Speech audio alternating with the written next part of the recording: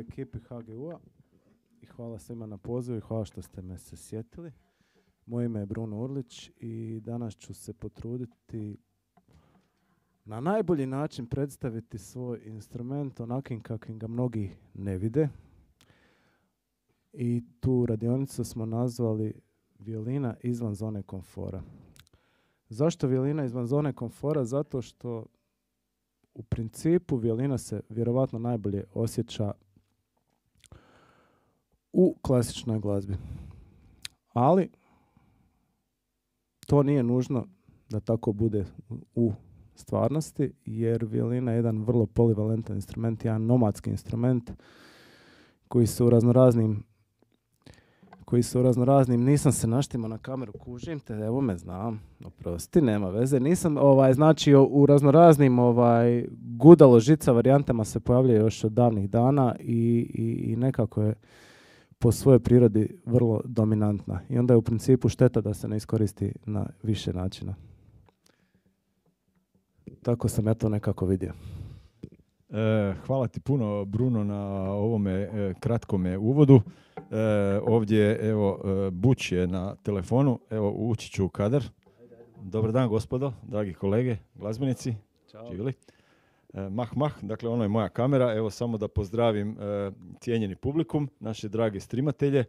Dakle, večerašnja glazbena radionica, workshop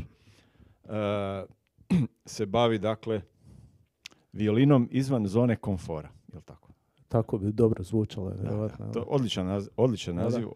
Dosta smo debatirali o tom Da, da, imali smo jedno 7-8 uh, raznih prijedloga tvojih. Sve smo htjeli nekako izbaciti iz kalupa, ali ovo izgleda zvučalo. Da, ovo je baš, baš jako dobar opis, ne? Da, možda se ne svidi nekim kolegama, ali šta da se radi. Pa nema veze. Bože moj. Uglavnom, e, dobro došli dakle, na naš, našu današnju glazbenu radionicu. E, Bruno Urlić, violina i njegovi prijatelji pa evo, ja bih te zamolio da predstaviš ove glazbenike koji će ti pomoći i asistirati. Sa zadovoljstvom ću predstaviti svoje suradnike s kojima u stvari najviše surađujem kroz band Damiro Django Group. U stvari Damiro Django Group je band koji smo Damir Kukuruzović pokojni ja ustanovili 2005. godine. Nažalost, Damir nas je prerano napustio prije dvije godine od posljedica covid i ova ekipa koja je tu sa mnom je u stvari bila odgovor na tu preranu smrt, na tu katastrofu koja nas je zadesila i uz, uz blagoslov Damirove obitelji smo nastavili umjesto Damir Kukuruzović Django Group sa Damirov Django Group, znači postava koja je u biti bila s njim. Iz te postave je Željko Bilbija na bas gitari. A s obzirom da je ono za, za, za ljude koji znaju Damir Kukuruzović stvarno bio jedna ono gromada glazbena, ovaj, morali smo ga zamijeniti u biti sa dva čovjeka i ta dva čovjeka su tu večeras s nama. Na akustičnoj gitari je Juraj Markač, jedan od po mene možda najtalentiranijih akustičnih gitarista trenutno. Njegova električna još talente nisam upoznao na akustičnoj gitari, stvarno nevjerojatno spretan i, i, i stvarno mi je drago da je sa mnom. A na klaviru je Paul Kempf. Paul Kempf je čovjek koji Paul Kempf je čovjek koji je, dijeli jedan dio moje zajedničke prošlosti kao klavijaturi zabranjenog pušenja, znači ja sam počeo, o čemu ću kasnije nešto i reći, ovaj, svoju glazbenu karijeru u sarajevskom bendu zabranjeno pušenje i nakon što sam ja napustio taj bend, slavno ili neslavno, prije svojih 18 godina, Paul je ušao u, u dio uloge koju sam ja obavljao u tom bendu. Znači, ja sam tada obavljao ulogu i violiniste i klavijaturiste i back vokala. Paul je ušao na klavijature, a moj prijatelj Robert Boldižar je ušao na violinu. I oni su u stvari napravili puno veće troškove za zabranjeno pušenje nego što mi sam ih ja objedinio i komprimirao nekako. Paul Kempf inače svira sa mnom i u mom drugom vrlo je dragom projektu Mavikan i evo sa mnom je večeras kao klavijaturist i u podršci i kao član Damirovog Django grupa i kao moj prijatelj. Super, evo ovo je bio jedan kratki uvod, e, predstavljanje glazbenika, e, trasirali smo neku okvirnu temu, a evo sad te ja dalje prepuštam tvom znanju, vještini. i samo meni. Pedagogiji. sam se Tu sam ja, neću da. Nekako sam si ovaj, to i, i objavio jučer u Facebooku da nek mi mudri Ezop pomogne šta ću pričati danas, ovaj, zato što je uvijek puno lakše svirati nego pričati, ali ovaj, šta znam, mislim da ovaj, gledajući radionice svojih kolega od prije, morao sam se naravno pripremiti na taj način jer ne bi bilo pametno baš uskočiti u dvosatnu raspravu bez ikakvog iskustva, pa sam se malo ovaj, informirao, malo sam pogledao. Iskužio sam da je u stvari u drugim instrumentima pa moram priznat malo lakše pričati zato što nekako nekako bubnjevi, bas, gitara, klavijature, mislim da su nekako prisutniji. Što medijski, što kod toga da, da se ljudi s njima bave na jedan drugi način, u stvari puno više dijele fore, puno više ima samoukih ljudi, puno više su spremni pomoći jedni drugima, a i ne samo da su spremni, ne, ne kažem da violinisti nisu spremni pomoći, nego je stvar u tome što što tako na jedan način ti jednim savjetom pomogneš drugom, on tebi pomogne i vi stvarate nekakav onako konglomerat dobrih ideja i, i mislim da ono nekakvi tutoriali na YouTube na bilo gdje mogu od jednog vrlo ono prosječnog i ono slabog poznavatelja nekog instrumenta dovesti do, do jednog vrlo ovaj cijenjenog i kvalitetnog glazbenika kod violine. Mislim da nije baš jako moguće bez nekakve tehničke potpore i, i početka ući u, u taj svijet. Što opet s druge strane utire jedan potpuno drugi put. Znači, violinak kad je učiš, učiš je na klasičan način, učiš je kroz nekakve uhodane staze. Od nekakvih ljestvica i da i programa koje moraš jednostavno proći. I dok ti prolaziš te sve stvari, tebi neće baš niko reći kako ćeš to upotrijebiti kasnije, osim možda kroz nekakve sitne vidove poput komorne glazbe, orkestara i tako dalje. Ali to ne bih rekao da ne bih rekao da te sprema za, za, za stvaran život. I onda se dogodi da, da te neko pozove da iz nekog rock benda, pop benda ili šta ja znam, da mociraš neki solo i onda ti takav, nikakav, sa faksa koji si ono, u stvari, ono, ravnao neke note i, i, i svirao po notama, ti bi trebao u, u, u nekakvih 8 ili 16 taktova nešto pokazati. Meni se ta prilika pružila 1997. na mojoj trećoj godini faksa, da su mi se javili ljudi koji su me znali iz Sarajeva, jer sam ja Sarajlija rođen isto, i znači grupa Zabranjeno pušenje je slavila neki svoj jubilej u stvari ponovno su se okupili i u cijeloj njihovoj diskografiji s tada 4-5 albuma postojala je samo jedna pjesma na kojoj je postojala violina. I ta pjesma se zvala Nas traži pored prizrena se zove ta pjesma. I ovaj, ja ću sada pokušati sa svojim prijateljima odsvirati samo taj solo iz te pjesme da bi vi vidjeli kako je to u stvari počelo. Kako te neko ono sa 21 godinom iznenadi i kaže ti da izađeš na veliku pozornicu i da pokažeš sve što znaš u biti u 30-40 sekundi. Pa ću zamoliti svoje kolege da odsviramo pripremu i solo na pjesmu straži, na staraži pored prizrena. Pardon, malo smo prehlađeni. Thank you.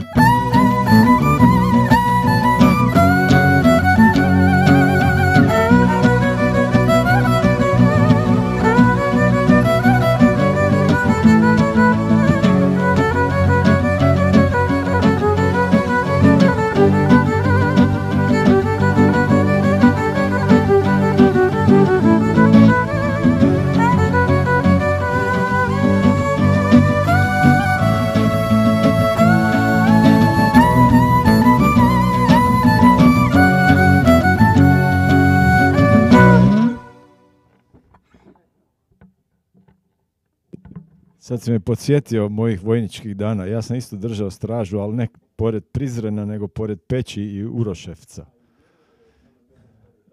Da, Je? I- jako se dobro provodio. Jesi uspio se dokopati ovoga doma? Za, za, E, za jesam, muziku? jesam, Jesi. ali odradio sam pošteno. Ipak si. Ali i držao sam ono straže, ono u gluho doba noći, ali Oliver Mandić mi je spasio život u tim situacijama. Imao sam Sony Walkman i kazetu, album najnoviji Oliver Mandića, tako da me on, Aha, već on- sam pomislio da je on služio vojsku s tobom, no mi se ne čini kao A neko ne, ko- onda ne vjerujem da bi mi spasio život, nego vjerojatno upropastio. Mislim da on nije baš ni služio vojsku, možda on mi se nije činio taj, on je bio neki tatin sin, čini mi se. je, je. Ali svakako sjajan muzičar, je kapa dole. Uglavnom, šta, šta sam htio reći, ovaj, ja sam znači klasično obrazovani glazbenik ili muzičar, kako god. Kako sam rođen u Sarajevu, tamo sam i završio svoju nižu i srednju školu. I također moja obitelj su isto glazbenici, moj stariji brat je violinisti i nekako se nametnulo da ću i ja barem pokušati svirati tu violinu. I onda sam pokušao svirati tu violinu, išlo je neloše. I onda su bili neki javni nastupi, nešto je to bilo. Lila, išlo je to sasvim jednom solidnom smjeru i do- dogurao sam do kraja srednje škole, počeo sam, upisao sam prvu godinu faksa i krenuo rat u Sarajevu. I znamo svi šta rat napravi kako, kakve uvjete napravi i ja sam pokušao i u tom periodu nešto, nešto vježbati, studirati, išao sam na, na sate i polagao sam i neke ispite, međutim, kroz nekakve dvije, dvije i pol godine tog rata u Sarajevu stvarno nisam ovaj, vidio više nikakvu perspektivu. Međutim, srećom se u, u Sarajevu u tom trenutku ovaj, bilo je oportuno se pojaviti i sredinom 94. e, kako sam ja i kao ono, jedan od 50-60 uopće ovaj, preživjelih i preostalih muzičara u Sarajevu, počeo svirati u Sarajevskoj filharmoniji već sa 18 godina. Došli su se malo vježbati na nama razno razni dirigenti, ali ne mogu reći za ovog koji je tada došao da se vježba, on je došao na, na gotovo, u stvari znači Zubin Mehta je došao 94. u Sarajevo i odlučili su napraviti u razrušenoj vječnici ovaj, Mozartov rekvijem sa sjajnim solistima i taj prijenos tog koncerta je obišao svijet i ljudi su se nekako senzibilizirali za tu Sarajevsku filharmoniju i napravili su nam turneju uz pomoć koje sam ja i kao punoljetna osoba, što je bilo tada dosta već nezgodno, izašao iz Sarajeva. I nekoliko mjeseci smo turirali po Italiji, nakon čega sam ja uviđajući sve blagodeti normalnog života, a, a mane ratovanja, uspio se dokopati hrvatskog državljanstva, s obzirom da su moji, moji baka i djed iz Makarskog primorja i nekako sam se ipak odlučio doći u Zagreb i pokušati nastaviti faks. I kada se to dogodilo, sam ono, upregnuo sve svoje snage, počeo sam vježbati, počeo sam se javljati na nekakve privatne instrukcije uspio sam se upisati na, na Muzičku akademiju u Zagrebu. I kad sam to uspio, onda je bilo jako dobro studirati sa ono nekakvom odgovornošću i ne, ne zezat se puno i vježbati i tako dalje. Međutim, meni je uletila ta priča sa zabranjenim pušenjem i na sreću, moj profesor, tadašnji Vinko Fabris je imao razumijevanja za to jer je on bio dijete koje je došao sa strane u Zagreb i ovaj, pustio me da malo ipak mogu, mogu neklasičnije studirati, tako da, da je tolerirao moje izlete na estradu. I ovaj, u principu to mi je i pomoglo da se, da se nekako ne zatvorim u, u, u glazbeni krug klasike, nego da probam malo i, i neke druge ovaj i neke druge pravce. I onda mi se uskoro dogodila jedna super fora, a to je da sam se, da sam se povezao i sa makedonskom muzikom, što je isto jako ovaj, jedna jako interesantna forma. Makedonska muzika je prepuna dobrih melodija, dobrih ritmova i da ne bi sad pričao opet dva sata, odsvirat ćemo jednu jako lijepu pjesmu koja se zove Ionove Jevanke, onda ćemo nastaviti dalje da vidimo gdje nas violina može još odvesti.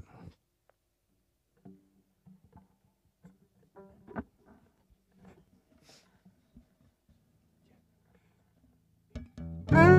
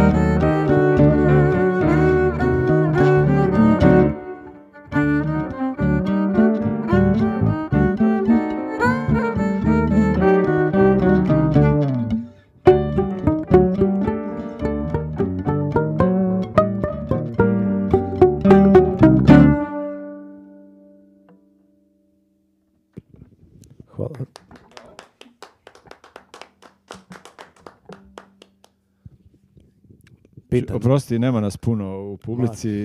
Cijenim evo, jako ljude koji su u publici, pogotovo svog kolegu kojeg sam čak tu spomenuo u jednom svom iskoraku, kolegu Antona Stašića, drago mi je da je tu. Hvala ti što si došao. Puno hvala da što si došao. Evo, osim mene tu je e, i naš ovaj video redatelj Goran Kovačević. jel koji tako? se izmiče. Evo, pozdravi ekipu. Pozdrav svima i hvala što gledate. Mm, Bolite grlo. kadrove koje sam kreirao za vas Da. danas. Malo eksperimentiramo s nekim split ekranima i to. u- I da ne zaboravim Marija Rašića u Marija tonskoj Rašić, režiji, naš naš dežurni, ovaj, dežurni Nenad Zubak. Legenda. Nenad Zubak za, za danas. Za siromašne. Šalim se. Ne, ne, oni su Marija ustavljeni- Rašić bi se vrlo lako uklapio na ovoj bini, jako cijenim i poštujem rad kolege. Pa evo, prošli, Kao i tjedan, svih. prošli tjedan je bio tu sa svojim izvanrednim ovaj, projektom eh, Balkan Zoo Balkan Zoo, bandom To je i jedan ni- od featuring Nina Ćorić. Eh, vrlo visoke standarde je taj band postavio, moram priznat. Eh, dobro, vi Ne vidim kako ne bi. U, u te cipele, tako da ovaj, Još smo mladi. Još smo mladi. Bibi nas, Bibi nas najviše vadi. Bibija, ovaj, a, u stvari, da, evo, Anton je jedan od par ljudi koji su uopće se usudili ikad izaći u Hrvatskoj iz tih. Uz njega bi spomenuo još Marka Firsta koji je također držao. E, pa evo, dopusti samo da se priključim. Ovaj, I ti sviraš violinu. ne, ne, ne. ne, ne.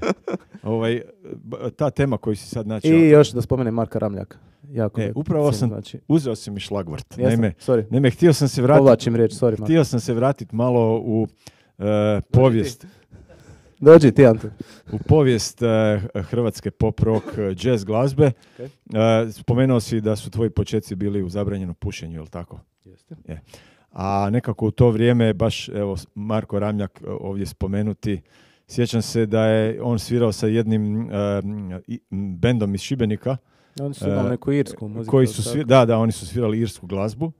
Jeste. Pjesma se zvala, joj, imali su jedan poluhit dosta dobar.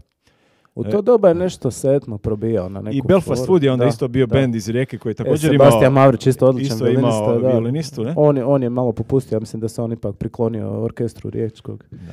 HNK. Ovaj, mislim da tako ostali, da- Anton ipak, ja mislim da ima stalni posao, tako. E, pametno. Pametno, ali s druge strane mislim da Marko i First ima sad posao u Ladu, koliko znam. Ali on je, da, Marko, Marko ima posao, stalni posao u Ladu i on, e, on svira od e, etno projekata do džeza, stvarno Apsolutno. pokriva, e, on- pa kao mogu, i ti u. Firstu mogu zahvaliti što mi ustupio mjesto kod Masima, jer ovaj, on je odlučio u tom trenutku da je bolje otići kod Škore. Da.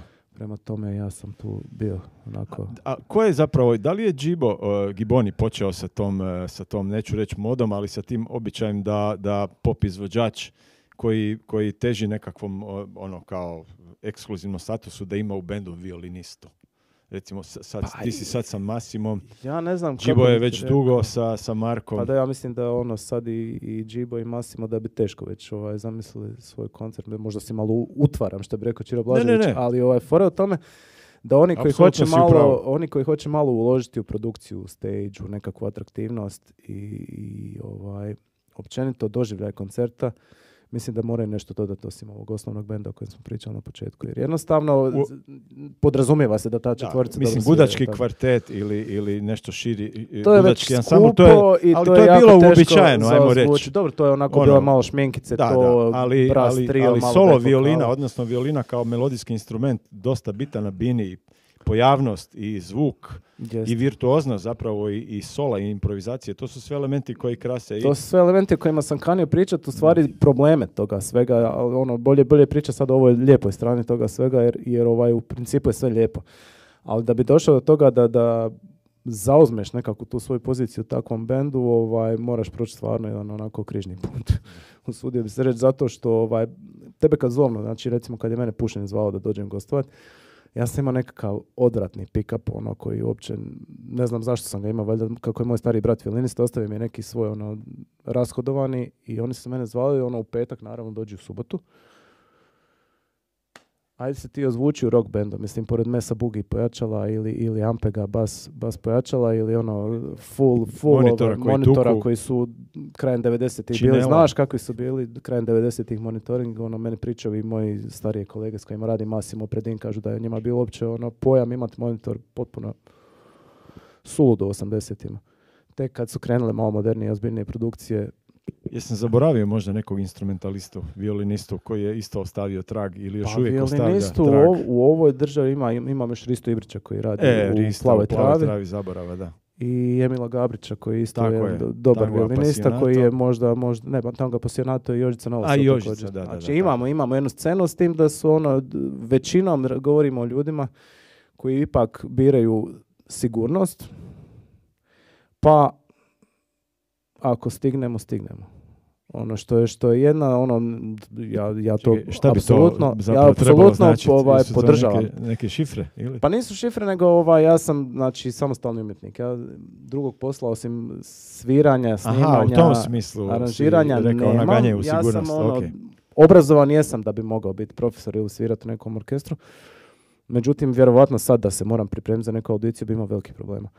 Znači sad sa svojih 46-7 godina ovaj, vjerujem da bi bio ozbiljan problem se pripremiti. Iako, znači, za, za održati nekakvu tehniku, Misliš mislim za da... audiciju, za neki orkestar za audiciju, za orkestar, za, za posao u muzičkoj školi? Posao u muzičkoj školi vjerojatno bi prošao nekako, Aha. ali, ali ovaj, nekako sam ja izabrao svoj put da, da, da ne, bavio sam se malo instrukcijama i takvim nekim stvarima, ali ne bi rekao da je, da je škola nekako moj poziv bio, jako, jako, respektiram to. Ja sam recimo dao instrukcije jednom dečku koji sad jako, jako obećava, to je sin od Branimira Mihaljevića, Mate Mihaljević. Znači ja sam mu napravio prvi kontakt s violinom, imao četiri godine, bio presladak je bio i, i, i ne mogu zamisliti da je to dečko koji sad već ono, zarađuje novce sa tom violinom i to ozbiljno svira, ozbiljne violinske koncerte. Baš sam bio ponosan kad sam vidio. A I recimo- to je jedno od mojih par iskustava u biti instrukcija, jer ja jednostavno evo, nisam u edukaciji uspio, uspio sam u nekim potpuno drugim stvarima. Dobro, možda si uzor nekim mlađim glazbenicima na drugi način. Čisto e, svojom prezentnošću pored likova kao što su Massimo ili neki Pa drugi vjerovatno umjetnici. to ima neku, neku To svoju... ti ipak daješ, ti, možda si ti Marko, jedan i drugi ste odškrinuli možda vrata toj nekoj generaciji. pa koja ja sad se, dolazi, Ja ne? se nadam, iako, iako je to jedna... Evo sad na ono- Muzičkoj akademiji u Zagrebu imamo jazz odjel koji, koji vodi Saša Nestorović, a to je bilo Sad si me- nezamislivo. Sad si me potpuno zabezeknuo. A mislim to e, nije, nije, e, to je kao jedan kolegi, ja, ako se ne varam. To je A, novost. jel se neko bavi violinom? Evo, informiraj me. Da?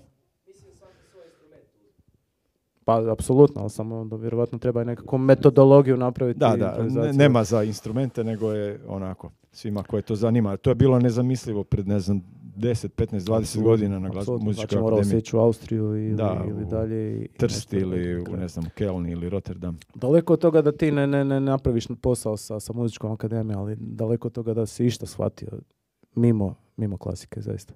Daj mi reci, kad smo već kod u- u- ovih uzora, odnosno kolega koji, koji su nekako skupa s tobom ili prije tebe e, krenuli ovim putem, da li si imao neki uzor možda preko granice iz Amerike, iz Europe, Pa, iskreno nisam ljubitelj skidanja glazbe. ali neko ko te čisto možda me- inspirirao? Završit ću ti ovaj misao zato što, ne zato što ovaj, ne, ne volim skidati, što je problem skidati, nego pokušam napraviti neki svoj izričaj, ali ako bi morao birati možda jednog od najboljih glazbenika općenito, ne samo violinista, to je Stefan Grappelli definitivno, zbog svojih moći, čarobnih moći na violini, zbog svoje ovaj, želje za prilagodbom i mogućnošću prilagodbe. Znači, to je čovjek koji je djelovao u 30-ima još prošlog stoljeća, a zvučao je moderno još u 90-ima. Možda ljudi ne znaju, znači zadnji koncert je odsvirao u Mariboru, mislim 95. od 96. svoj u kolicima je već bio, ali i dalje je svirao kod dječaka. Uvijek je bio, kako bi rekao, inovativan i nov i frižak. To je bilo nešto sjajno za slušati. U biti, ja sam, kad sam počeo Gypsy Sing svirati sa Kukuruzovićem, ja nisam znao ništa o jazzu, apsolutno. Znači, on je mene uhvatio iz, iz roka i klasike i rekao, ti ćeš sad svirat sa mnom, ok, mi ćemo napraviti, znaš. On je imao uvijek neke velike planove, velike obećanja. Ja sam rekao, ok, onda, a kako se to svira? Pa ovako, onda mi on dao neke snimke, onda sam ja išao skidat Grappellijevo solo. Znači, ono, dosta se dobro snalazim u, u Sibeliusu i, i tim softverima za pisanje note, onda sam ja išao pisat ta solo. Međutim, šta? Ti skineš njegov solo sa snimke iz 56. Međutim, ova svira snimku iz 58. koja za 20 BPM-a brže, ti ne možeš stići više taj solo koji si, koji si skinuo. A i ti samim tim što si skinuo taj solo, mislim, nis, možda se ovi odsvirali na potpuno drugi način i taj solo se uopće uklapa. Jednom ćeš ga ubosti u pet puta, ali drugi put će biti potpuno besmislen, ili će ti neka nota pobjeći ili si promašio frazirung i nema smisla. Znači, bilo bi ok u stvari napraviti neke svoje i ono što je možda muzičar jedna od najvećih pohvala ako ti neko kaže jednog dana da je na snimci skuži da ti sviraš. Da je to tvoj sound. Da je jel? tvoj zvuk, da. E pa, to se tebi vjerojatno dogodilo mislim imaš stvarno jednu prekrasnu biografiju za sebe. Ovaj, mislim da ono, da, da bi Dino Dvornika stvarno Pa, mogli prepoznati djelomično i, i po tvojim dionicama kojiš. Evo, meni se nekad dogodi da... da Meni je to velika pohvala. stvarno, meni se to nekad da mi dogodi... neko kaže da me prepoznaje po zvuku. O tome ti pričam. Znači da nisi skopirao sve živo, nego i da nisi se navježbao preko tuđih u principu leđa. Mislim, dobro je steći tehniku preko tuđih leđa, ali da, da iz toga svega napraviš jedan sukus da to bude tvoj sound. to Ja super. zapravo u, u životu nisam toliko skidao ljude e, sola i, i to, nego sam zapravo više tražio nekog ko me inspirira to. da e, svaki dan e, da se posvetim instrumentu, E. da sanjam o tom o stage da sanjam o tome da sviram sa drugim ljudima. Jednostavno, e, Jaco Pastorius, Stanley Clark, Da. Marcus Miller, sve su To to, možda ljudi... nisu nužno ni basisti na kraju bili. Da, nego, recimo nego, George Duke i Miles Davis, to su moji vječni uzori, ili Boško Petrović, apsolutno. recimo čiji, čije sam sve koncerte pohodio u Lapidariju dok sam imao 13-14 godina, on je za mene bio bog, ne, i Mario Mavrin kao Jasno. njegov e, vjerni basist, ne. Legenda, da. U tom smislu sam mislio uzor, Da, da, ne pa možda neko ko skidaš su, ili... Uzori su i ono, ono. kako neko stavi košulju, da li raskopče zadnje Da. dugme, da li, da li nego viče na ljudi ili simpatičan da se smije ili je nadrkan Ili, ili neki vrijeme. kompozitor, skladatelj, recimo meni Joe Zavinul, ono, Upravo tako. Ja se Ono, recimo mrak. inspiriram jako basistima, ne znam, je li znaš Zavišaj Kojena, on je, Da, on kako. mi je apsolutno ovaj, senzacionalan i Charlie Hayden je recimo možda top glazbenik uopće. Da. Tako da uopće ne slušam nužno ovaj, violiniste da bi punite dobrom energijom i ono, dobrom voljom energijom, za životom. Kraju ono, znaš, nek- nekad bi te, nekad bi te ovaj, ljudi zvali zbog, zbog nekakvog laganog sola. U biti te za violinu te zovu da, da nešto razvališ, nešto moraš. Mora se nešto dogoditi nakon što si ti izašao na binu. Znaš, ono, I onda se prepoznaš po tih 8 ili po tih 16 taktova i Znaš, ono, svirao sam, ne znam, Severini pjesmu, ja sam pjevam koja, ono, znaš, poznata je po toj, možemo to probati, pa ne znam, Masimu, onaj, iz jednog pogleda, ili tako. Hoćeš čuti, ono, Da, da. pa- pa Može, može. Samo da mi ne pobjegne misao, sad e, sjećam se od Rundeka e, pjesme Apokalipso. Tamo ima ovaj e, Novoselić. Ako, e, prvo je tema, krasna, a ima i onaj neki dio gdje on kaže Paganini i onda ovaj poludi na violini. Jednom sam čak morao to skinuti, ali ta gaža je propala. Kako, kako se zove taj violinista? E, Novoselić? e, Novoselić, sam- Jure e, Novoselić. Jel je? Ne, ne, ne, Juraj je njegov... Ne, pardon, pardon. e, Sergej. Sergej Novoselić. Sergej Novoselić. Tako je. Odličan violinist, ali ne znam di je, šta radi, nisam ga već dugo čuo. Da je švicarska neka. Jel je? Aha. Prosto malo previše se kašlje, ali nije korona, provjerili smo. A, ne, dobro. ne bi ti donio. Odo ja sad da ti ne možeš malo... donio to. Ma ne, odsvirat ću ovaj par u stvari tih Neka, neka. prepoznatljivih Odo gluparija, ja. ono po kojima u stvari se violina prepoznaje, pogotovo recimo iz 80 i ne znam jel se iko sjeća pjesme od Đorđa Balaševića, pjesma o jednom petlu. Da se to, odsvirat ćemo samo tih osam taktova, čisto da ljudi ovaj, čuju. Od kud smo rekli, iz HMO da je tako? Je, dva, tri.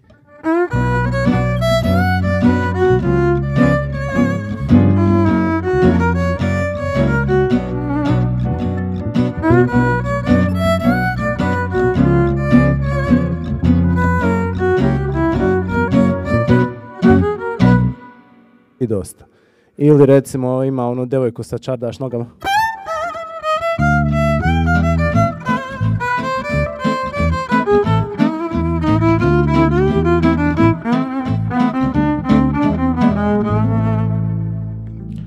Ovo dalje bi odsvirao Ignat Šen, puno bolje pokojni, nažalost. To je jedan od likova koje je vjerovatno Anton znao o čemu pričam.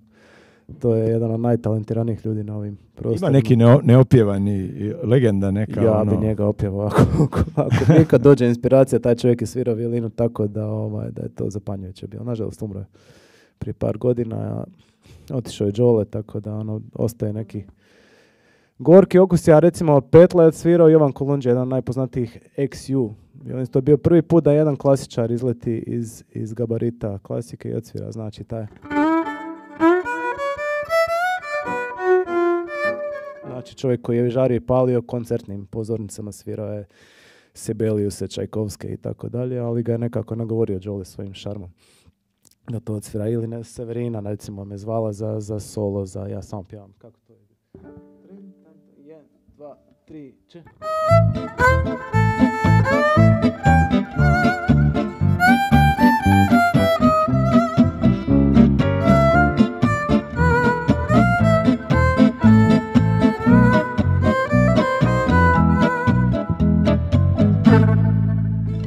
Takve neke stvari. Onda, a u stvari, znači, ako se sjetimo, 80. i 90. nema puno, ti si spomenuo taj solo iz Apokalipsa.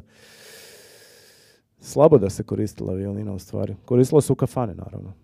To, to je sad jedna druga priča. Mislim, nije, nije to daleko od toga narodna muzika iz 80-ih je puno nešto suvislije nego ovo danas. To, to sam te zapravo eh, htio malo prije pitati. Da li postoji ta neka relativno nepoznata kafanska legenda, recimo violinistička, za koju svi glazbenici to imaju znaju? svi gradovi, sve neke legende. U Sarajevu su bili nekakvi ovaj, isto urbane legende. Recimo bio jedan violinist stari Muhamed Adaš, on je bio Rom isto i takvi neke. Ono, to su likovi koji su ono ti zadnju kunu ili dinar tad vadili iz džepa jednostavno i harmonikaši i, i ali to su nevjerovatne ono, pjesmarice u glavama, ono, tisuće pjesama i tako dalje. Ali recimo jedan dio moje karijere sam recimo i se svodi na taj band Mavikan u kojem sviram Sevdalinke i sa, sa Paulom ću baš odsvirati jedan mali fragment pjesme Žute dunje isto da, da, da vidimo i taj recimo ovaj dio di se još može svirati violina.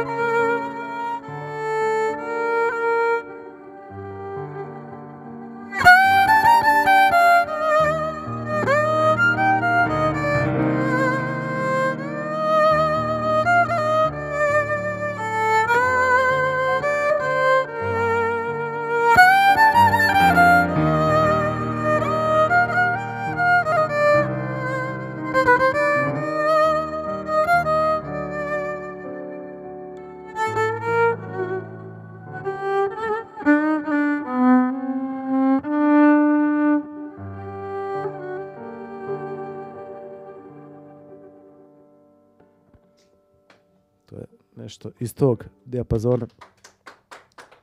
A što kažu, ne zovu te na violinu da sviraš balade, tako? Pa ćemo mi odsvirati isto nešto što sviramo sa, sa, sa Damirovim bendom, ovaj, pjesmu koja se zove Ševa. Malo ćemo je potkratiti, ali opet ovaj, da otprilike, šta je bilo? Šta, šta nismo rekli?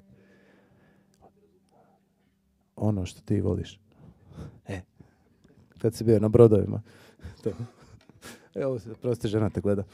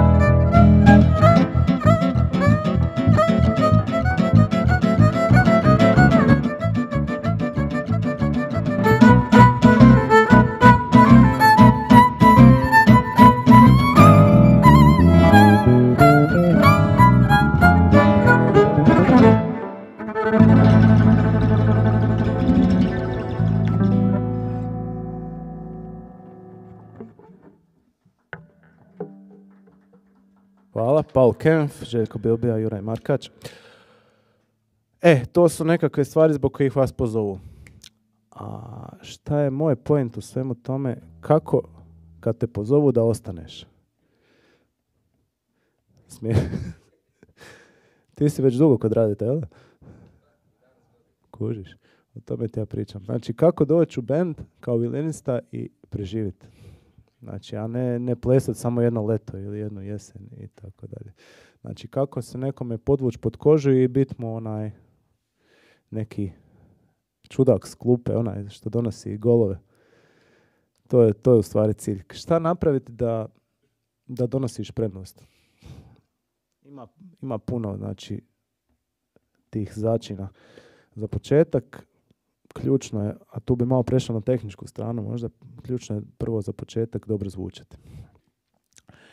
Pa ću se malo samo baciti na ovu tehničku potporu, jer ovaj, mislim da to, to nije zgorek za, za, za spomenuti. Meni to isto ljudi nisu baš govorili, pa sam dolazio do tih zaključaka. Ovaj, kroz godine mukotrpnog falša i, i mukotrpnih mikrofonija i tako dalje i mrzili su me drugi i mrzio sam ja drugi jer to niko nije mogao shvatiti stvari da se violina ne može probiti kroz šumu, činela, pojačala i tako dalje. Znači za početak prva i osnovna stvar, znači dok nisi još ni, ni počeo razmišljati o mikrofone, prvo trebaš razmisliti gdje ćeš na bini stajati.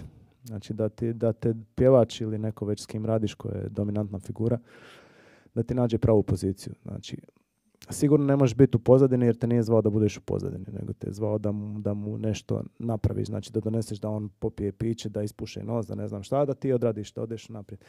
Znači, po mogućnosti je korisno ne stajati na strani gitare, što ja nisam naučio skoro dvije, tri godine kod Masima, pa sam stajao sa, sa strane Mesa Bugija i bio sam ono, grozomorno, znao sam biti falšano kad bi, kad bi bio loš, loš monitoring onda bi ono, na snimkama bi se ježio od, od užasa, uopće ne čuješ to znači na bini. Ono, ljudi misle da, da, da, da, ono, da pričaš ono, gluposti. Stvari, znači vilina nema pragove. Znači jedan mali pokret. Znači u istoj sam točki. Ukoliko gitarist zabenda žicu, malo jače, a to svi znamo kako to zvuči, i sviram, ne znam, onaj Massimo, stranac noći. A gitarist odsvira?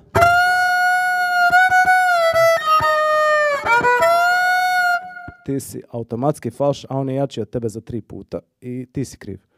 Nije on kriv. Znači, makni se od njega i odi negdje na stranu gdje su instrumenti koji su egzaktniji za početak. Znači, odi kod basiste ili odi kod klavijaturiste.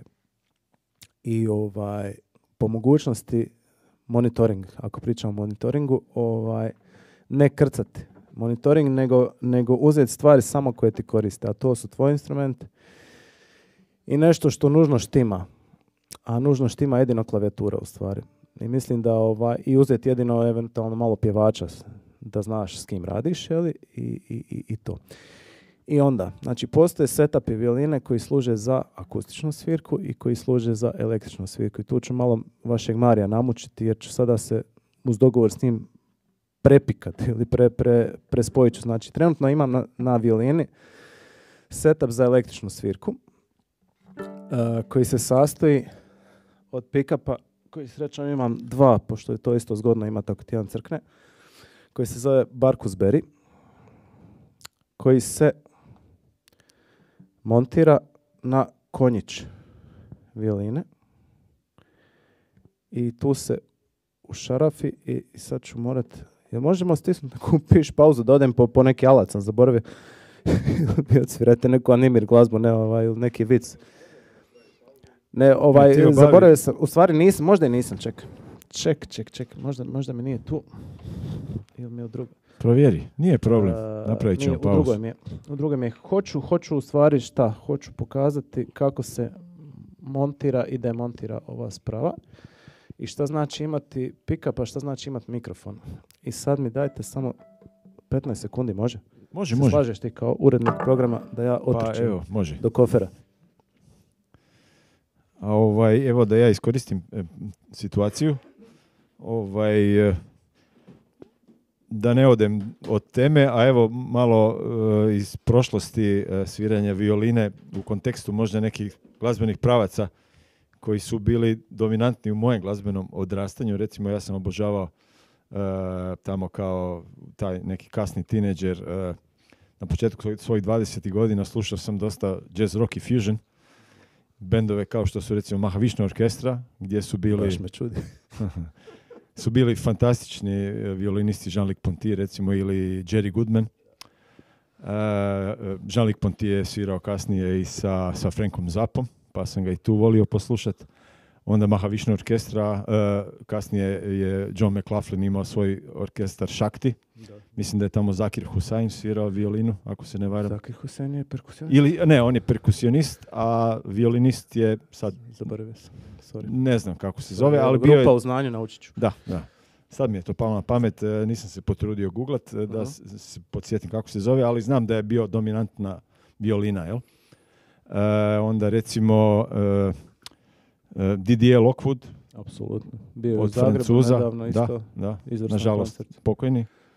On je navodno bio učenik Stefana Grapelija, ako se dobro sjećam. Više sljedbenika, ali ne, E, sljedbenik. nešto malo moguće da, Da. mu- da se približio, ali ovaj, Onda smo imali iz Poljske e, e, Stefan Urbanijak, mislim da se zvao. njega ne znam. Isto jedan poznat, ne znam. poznati jazz rock fusion violinist koji je napravio karijeru u Americi. Ne?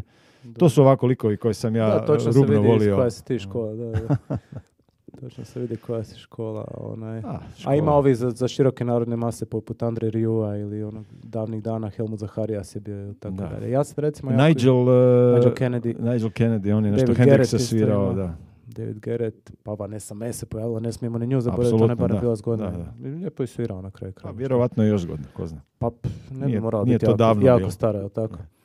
Dobro, ti si A do- meni su, meni su recimo zadnjih godina su mi se jako svidjeli ljudi koji su, žive u Francuskoj, većinom su porijeklom Rumunji. Mhm. A, najpoznatiji od njih je Flore Nikolescu, koji je ono svirao sa, sa masu poznatih pjevača i iako trenutno meni se sviđa jedan violinist koji se zove Marius Apostol, on mi se jako sviđa kako svira i on je svirao recimo sa, sa poznatim gitaristom Anđelom Debarom s kojim smo mi imali priliku svirati. Mi smo kad smo svirali s Kukuruzevićem stvarno svake godine imali priliku izmijeniti po nekoliko gitarista poput, ne znam, Stoka Rosenberga recimo. Sa Stokan Rosenbergom smo svirali u noći kad je Hrvatska pobijedila Englesku u, u četvrtfinalu svjetskog, u polufinalu svjetskog prvenstva. On je strpljivo u klubu u Sisku čekao da se završi utakmica, a bio su, hvala Bogu, i produžeci sve. On počeli smo po, svirati koncert u ponoći 15. On je bio ovako u hlačama, košuljci, ono, cigare Da. i... To je stvarno nevjerojatno kakve su sve glazbene veličine gostovale u jednom takvom ma- malom jazz klubu u malom mjestu kao što je Sisak, Da, koji je totalno van nekakvih uobičajenih tokova glazbenih. Je, ali ima Ali- jazz klub, to je praktički bio jedini jazz klub u- Da, državi da. i onda u- ako bi neko htio svirati stvarno jazz u takvom ambijentu bi morao Da. doći kod njega. E, a sjetio sam se još jednog imena koje je tu, ovo, malo prije sam spomenuo, lapidari Boška Petrovića, BP Convention. Tada je dolazio jedan odličan violinist iz Mađarske, Šaba Dezeo. Šaba Dežeo, da. E, ne znam točno kako se čita. On je, on je isto na mene dosta... On je ono, snimao sa Bo- Boškom, tako? E, sa. Damirom Dičićem isto ima na videu, e, na YouTubeu čak dosta videa di, di svira sa Damirom Dičićem uživo na nekom koncertu, dakle nije samo sa Boškom surađivao, nego još... Dakle, A vjerojatno ga je Boško doveo u BP. pa fantastičan, onak, e, plavi, visoki, mršavi, Trebalo ih je nekako dovesti. Da. I kad bi ih doveo, onda bi se vjerojatno neko uhvatio za njega, ajmo nešto snimiti. Da, da, tako. da. To je, to je klasika. Tako da A bilo je, tako bilo se rade suradnje, tako? Je. Tako Ok, evo Ajmo- ja sam smontirati, ispunio ovo vrijeme dok Ma si ti hvala tražio alat. hvala super se dopunjujemo čovječe, možemo Ajde. raditi. Mogli bi organizirati neke radionice. a? Apsolutno. Evo, ja ću malo idemo zaprljati ruke. Uglavnom, šta znači? E, govorimo o, o, o pick-upu. Znači, to je model, još jednom, Barkus Berry. E, 3100. Jedan vrlo bazičan pick-up. Ali ovaj, ono što je najvažnije prenosi on informaciju i ne radi mikrofoni. E sad ću ga Mario ugasiti da ga mogu otkopčati.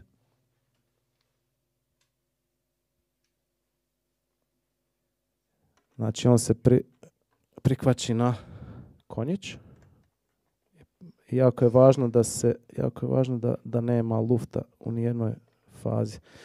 I što je jako važno kod velikih ovaj vibracija da sve stoji vrlo fiksirano. Tako da imamo ovaj jedan komadić krpe, inače pri tim velikim vibracijama ovo sve jako zuji. Pa ćemo to skinuti isto. I ovo je jedan primitivan alat za skidanje.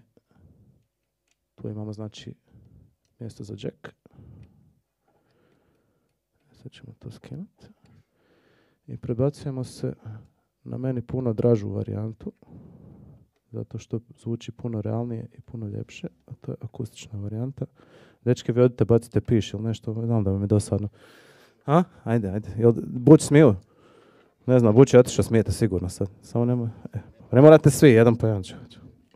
Uglavnom, vraćamo se na ovaj akustičnu varijantu. Akustičnu varijantu sam nabavio za razliku od ovog američkog modela u Engleskoj. Riječ je o modelu koji se zove Steve Reed. Nažalost, koliko sam skuđio, više se ne, više se ne proizvodi. Košta nekakvih 200 i nešto funti. Uglavnom, point je da se uglavlje u ovaj otvor i ima mikrofon koji se tu ukopčava. Kako je violina jedan vrlo impulzivan instrument, navlačenjem kablova bi ovo vjerojatno izletilo, pa se pa sam se dosjetio kod jedne stare krojačice napraviti jednu varijantu koja bi to pričvrstila. Znači, jedan vrlo primitivan alat na čičak koji se provuče. Sad sam nedavno vidio, neću reći da sam neki ovaj pionir toga, ali proizvođač koji se zove Headway ima mikrofon violinski koji ima upravo ovakav nekakav samogumeni obrub oko violine i onda ima mikrofon koji se ubode u tako nešto. Ovo je znači samo jedan mali komad pliša koji drži da se ovo ne bi izvalilo vani jer je to vrlo opasno i može napraviti veliku štetu na instrument. Dalje, to je znači ta varijanta. Tu više nemamo ove varijante jack-jack, nego ulazimo sa jednim potpuno drugim kablom. koji se zove Lemo konektor, to je nešto dosta rijetko. Očito su shvatili da prenosi jako dobro zvuk, koji se tu u glavi i ima nekakav svoj graničnik, nekakvu svoju crvenu točkicu po kojoj se tu vidi, znači da je na pravom mjestu. Prilično je soljeno u stvari. I na kraju tog kabla je Canon koji ćemo sada, sad ću objasniti, sad ću razotkriti svoju trenutnu postavu. Nećemo valjda niko zbog toga jako piratizirati. Uglavnom, da bi violina dobro zvučala, bi morala imati i nekakvu kontrolu da bi imala kontrolu bi i da se možeš potući sa, sa nekakvim glasnim instrumentima, treba bi imati nešto što može kompresirati, odnosno dići tvoj signal. I to bi bilo dobro da je nekakvo ili predpojačalo ili kompresilo nešto. Ja sam istražujući tržište naletio na jedan procesor, odnosno jedno predpojačalo koje koriste pretežno kontrabasisti koje se zove Headway. Sad ću ga pokazati također.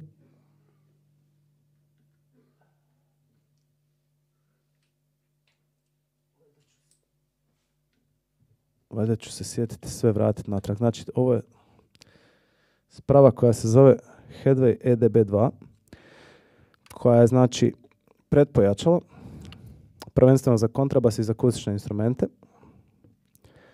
ali ima znači na sebi podijek za violinu, gitaru i bas. Ima dva ulaza.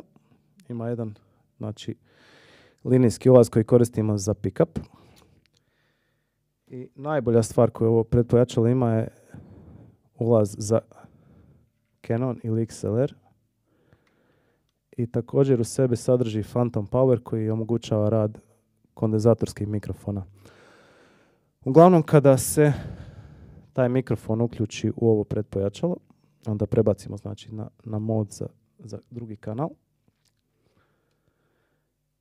I mi smo sada su stvari prebacili na akustičnu violinu. Više nismo električna violina jer se ne moramo recimo u tom slučaju boriti sa sa pojačalima, nego ćemo svirati sa instrumentima poput akustičnog klavira, poput kontrabasa, poput akustične gitare i znači za to nam više ne treba toliko snage, ali ćemo tu neku kvalitetu snage dobiti od tud i, i kvalitetu signala. I onda taj mikrofon koji sada u stvari bi mogao na nekakvoj drugoj bini pohvatati jako puno mikrofonije, on na jednoj tihoj bini neće hvatati mikrofoniju.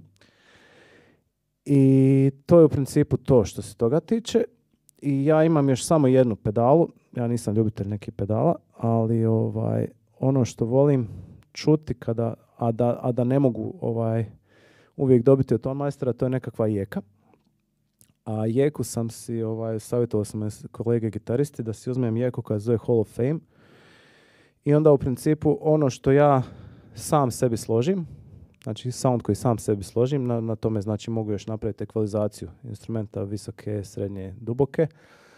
Ja to, taj signal pošaljem kroz, kroz reverb, ja koristim plate uglavnom i onda znači moj gotovi signal šaljem ton majstoru, što je u stvari za mene dobro, možda za njega zna biti nekad problem, ali gledam da ne pretjerujem sa nikakvim procesima, jednostavno meni treba moja informacija, jer ako ja nemam svoju informaciju, ako ja nemam malo prostora na toj vilini, velika je šansa da će se svirati falš.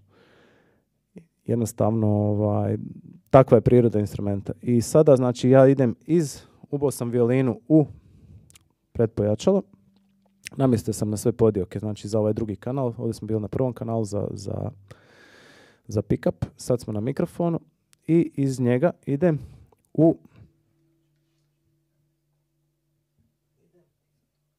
u taj navedeni Hall of Fame.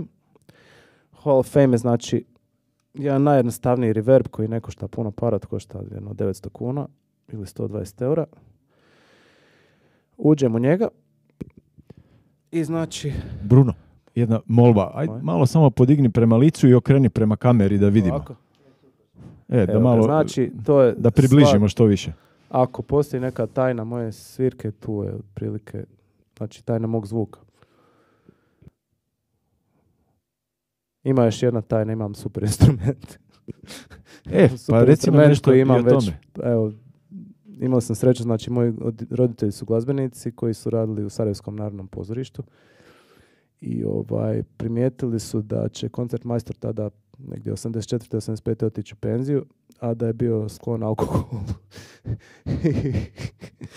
I, kao njegove kolege, ono koji nisu htjeli da propadne takav jedan instrument, su mu ovaj, samo ono što je tražio ispunili i taj instrument je u principu odškolovao i mene i mog brata. I onda smo imali u- obitelji, smo naslijedili još jedan krasan instrument, jedan njemački, 200 godina stara, ova violina je negdje oko 130 godina stara. I nekako smo se nas dvojica podijelili, njemu je otišla ta malo starija i malo tamnija, a meni je došla ova malo svjetlija i malo mlađa i ja se u principu do svog instrumenta ne odvajam od, evo sad će 30 godina. Tako da ono kolege moji poput ne bi sad nabrajao, ali, ali ovaj, koji imaju po ne znam 40 gitara i tako dalje, mislim cijenim da pače ono, možda bi ja imao pet, ne znam šta bi radio više od dvije violine, evo, mogu pričati da mi treba pet, ali ne, imam, imam ovaj, osim violine imam violu. Evo to, violu volim zato što ovaj, ima jedan potpuno drugi sound, zato što je kvintu dublja i što, što je za mene druga filozofija. Ima puno violinista recimo koji koriste petožičane violine. Meni je to malo ovaj, meni je to malo ono, umjetno, tvorevino. Tako da ono, ja se ne bavim s tim. Ovaj, razmatram, evo sad sam baš u zadnjoj fazi, razmatram oktaver, jedan koji koriste recimo basisti i gitaristi, ali to ću još, to ću doma isprobati, neću iznositi na, na pozornicu. Uglavnom, evo, završili smo s tim da ne dužim dalje. Ovaj, I sad ćemo provjeriti uz, uz vašeg ton majstora šta se događa sa, sa zvukom. To će me zanimati ako će neko imati interakciju, ovaj, da, li, da li je primijetio ovaj, da li je primijetio u stvari da, šta se događa sa soundom. Idem to spojiti pa da vidimo je li to tu, a mogli bi se dečki vratiti da nešto onda odsviramo po, po tom pitanju. jel?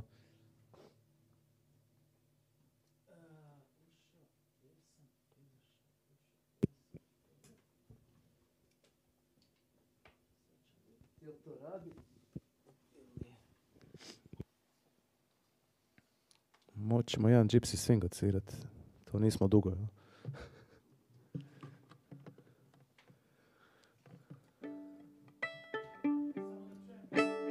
Je li čuješ uopće?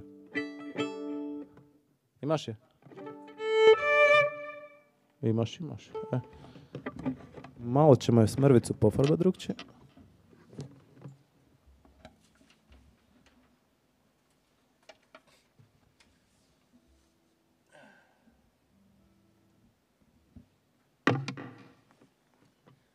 Hoćeš provjeriti samo jačinu.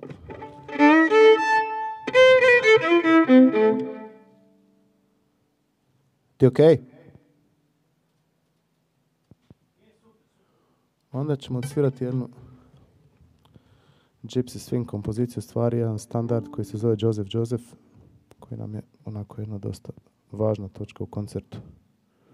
Nju ćemo odsvirati cijelu, nećemo je zaustavljati.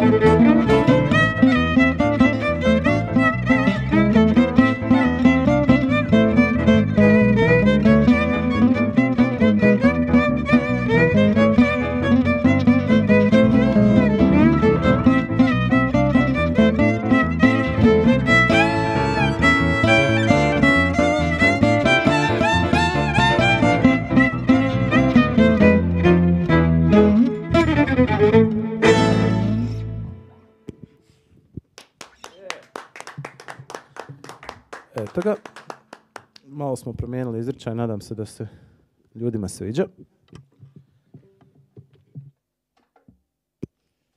A ovaj, e, evo, kad si spomenuo da ne voliš baš previše ovih efekata i to da koristiš uglavnom samo ponešto ovaj, jeke, E, zanima me da li možeš... Imaš neki savjet? E, ne savjet, nego evo imam jednu, jedno pitanje, odnosno želju jednog streamatelja, Nika Epika. Ok.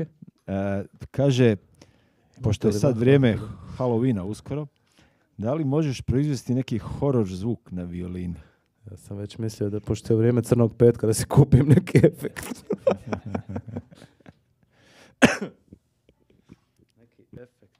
Da li možeš udovoljiti možda?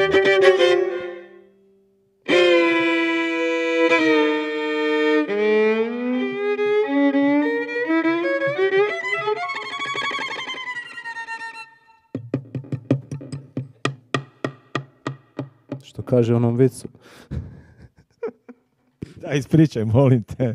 Nemoj nas ostaviti tu. Kaže, kuca neko sulji na vrata.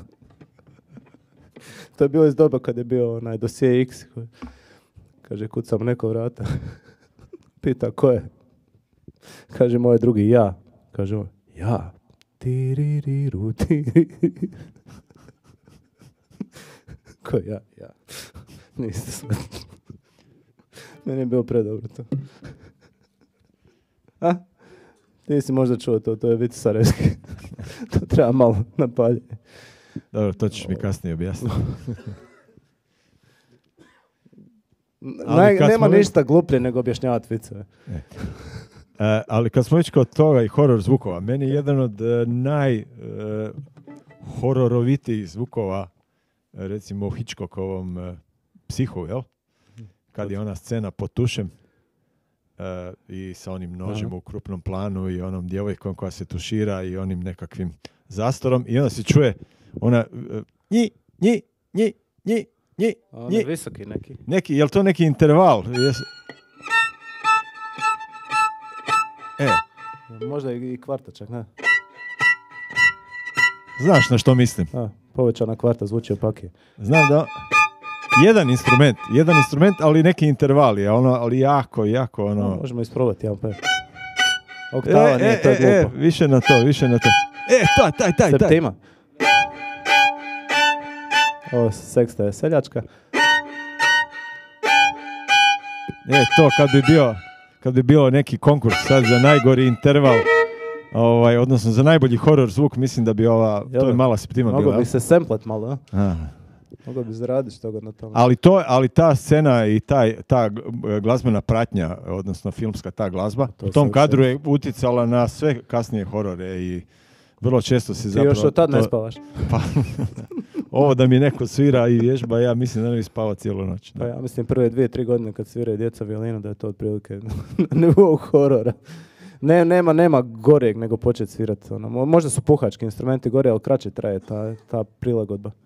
Evo, Anton se može složiti. Mislim, dok dobiješ nešto suvislo iz, iz djeteta, ono, stvarno, ako nije prirodno nadareno, A To je možda odgovor na ono tvoje, onu tvoju konstataciju da zapravo se violina ne može e, samo naučiti, odnosno da ne možeš biti samouk na violini.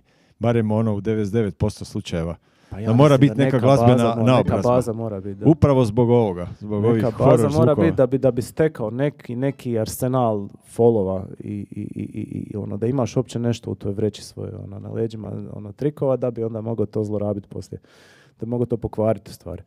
Realno ti kroz edu- edukaciju sviraš beskrajno puta teže stvari znači nego što sviraš na, na, na tim koncertima ono. ok ča, čast ne znam ovaj kažem evo Gypsy Swingu kad sviraju stvarno pravi mačci ili, ili ili fusionu i tako dalje, ali mislim, mi, mi ako neko odsvira pošteni koncert romantični na akademiji, to stvarno to su vrhovi u stvari onaj, tehničkih mogućnosti na instrumentu. I onda u stvari ti, ti realno ideš s konja na magarca, ali ne možeš ti svirati samo takve stvari.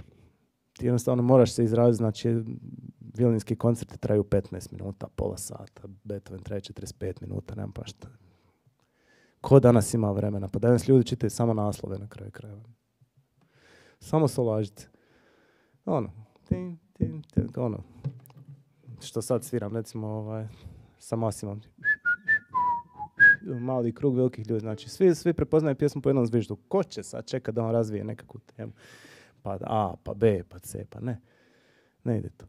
jednostavno ljudi više nemaju vremena za, za poslušati glazbu. A reci mi, kako je došlo do te glazbene suradnje Masima i, i Brune Urlića?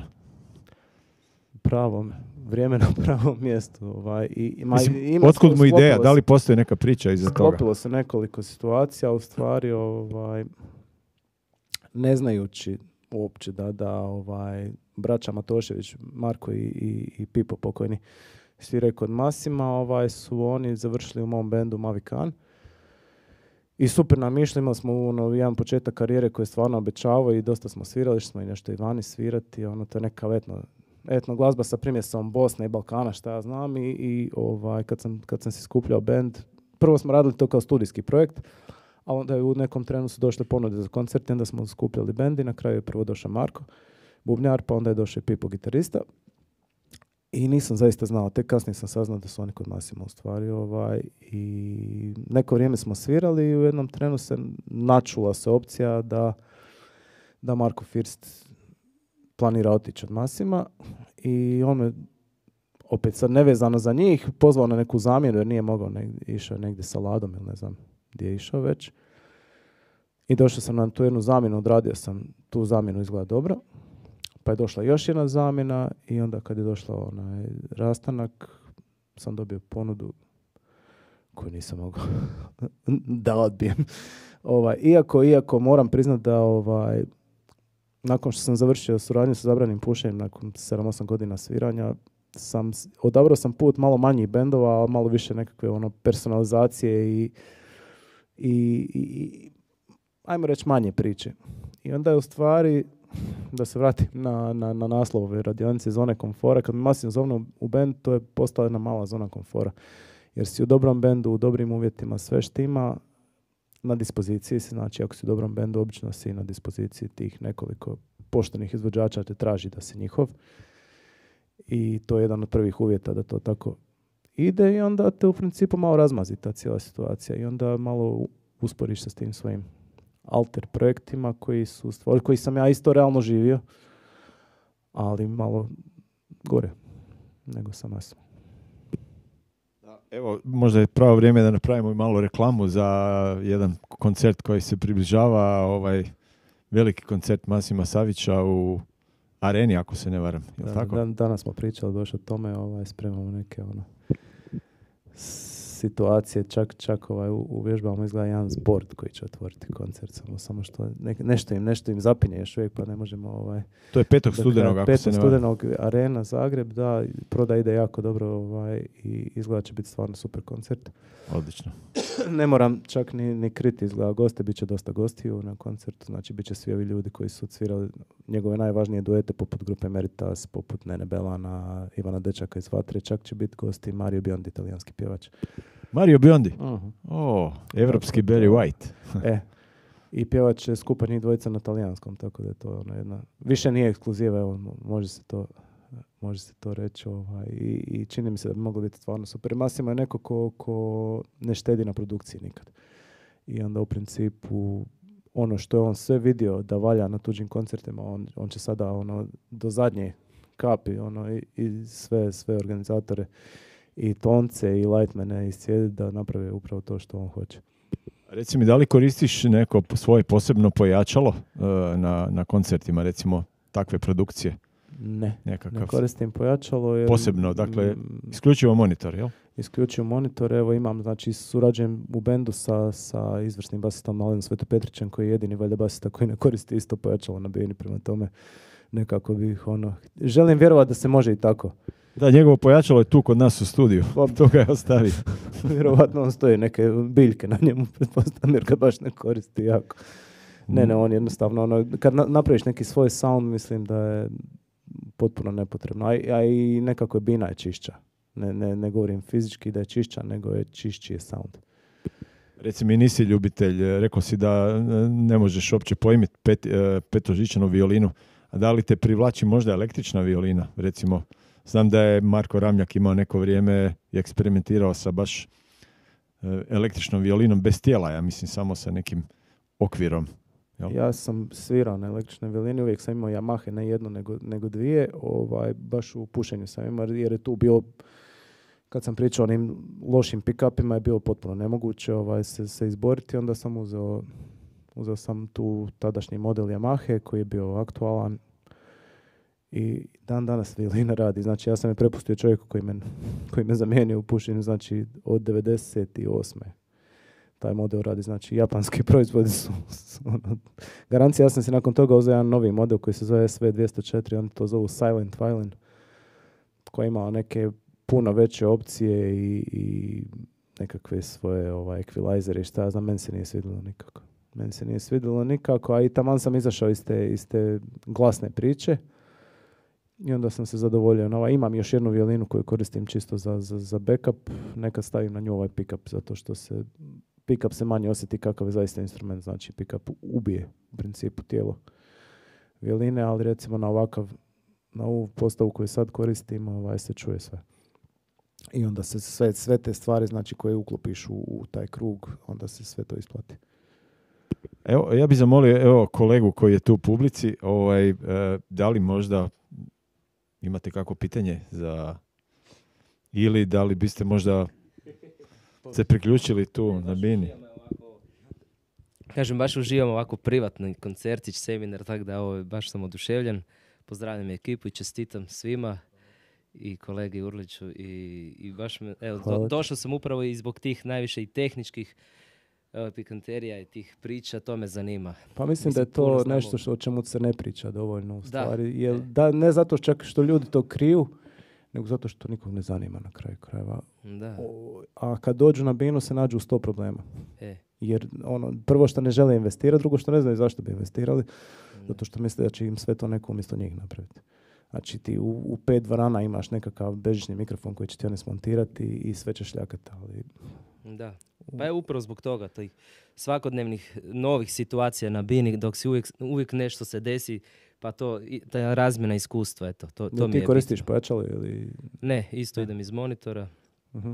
Imam taj pick-up ugrađen u konjiću, Ok. to je isto jedna američka privatna zapravo firma, nešto su, baš mi dobro. Zadovoljan. da, ponaša mi se super i tako. Ja istražujem svako malo nešto i bi nešto promijenio, ali za sad sam stvarno ok, ne znam, evo čuo si Da. u principu.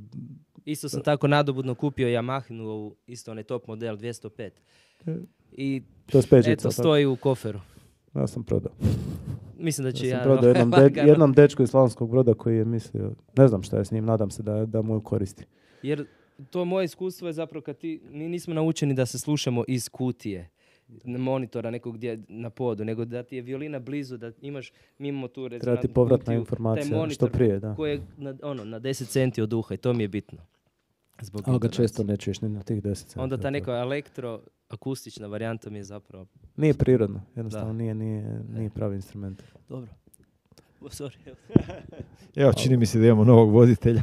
Ma definitivno, super, super. Ne, ne, odlično, baš super puno, puno hvala. iskustva, Ne, ne, ovaj. puno hvala na ovom komentaru. Čak, čak sam i ja nekad davno, ali prije 20 godina svirao nekog koncerta sa Šerbeđijom i to je bilo stvarno super iskustvo. I Vjerujem da uživaš s tim.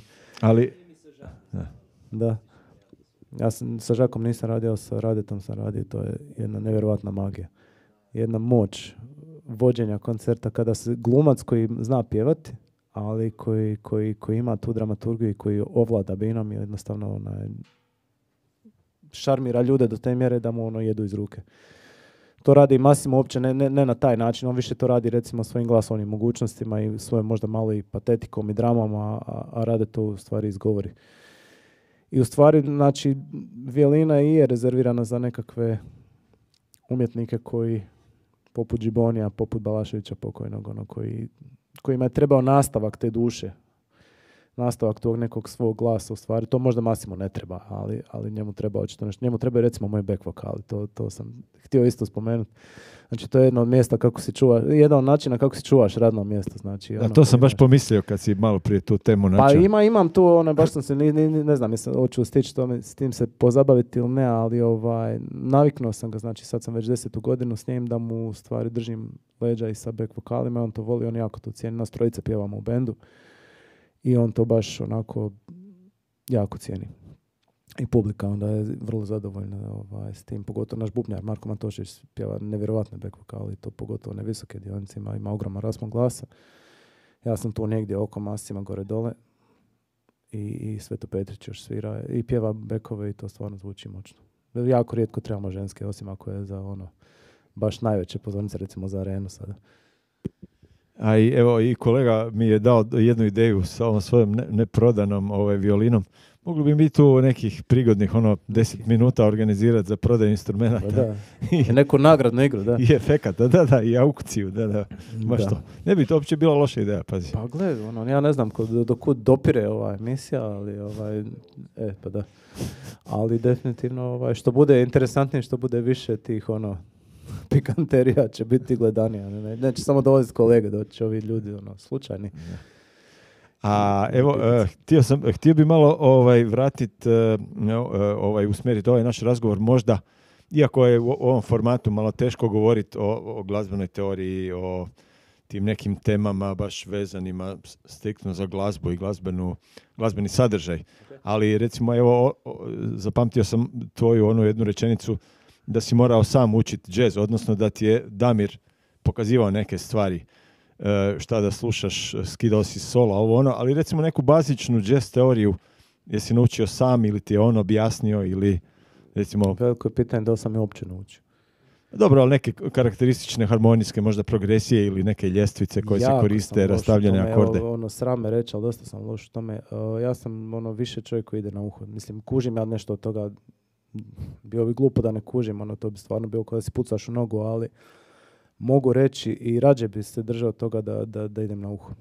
I u stvari inspiriram ja svoje kolege i oni mene inspiriraju u stvari slušanjem i slušanjem drugih instrumenta. Recimo u džezu jako puno slušam saksofon i trubu i njihove frazirange. I ako, ako bi vježbao nečija sola, bi rađe recimo vježbao solo saksofonista da, da mi daju nekakve ideje nego ovaj violinisti. Violinisti ono najčešće su predvidivi, osim ovi koji, koji idu ovaj u, u stvari u tuđi teritorij.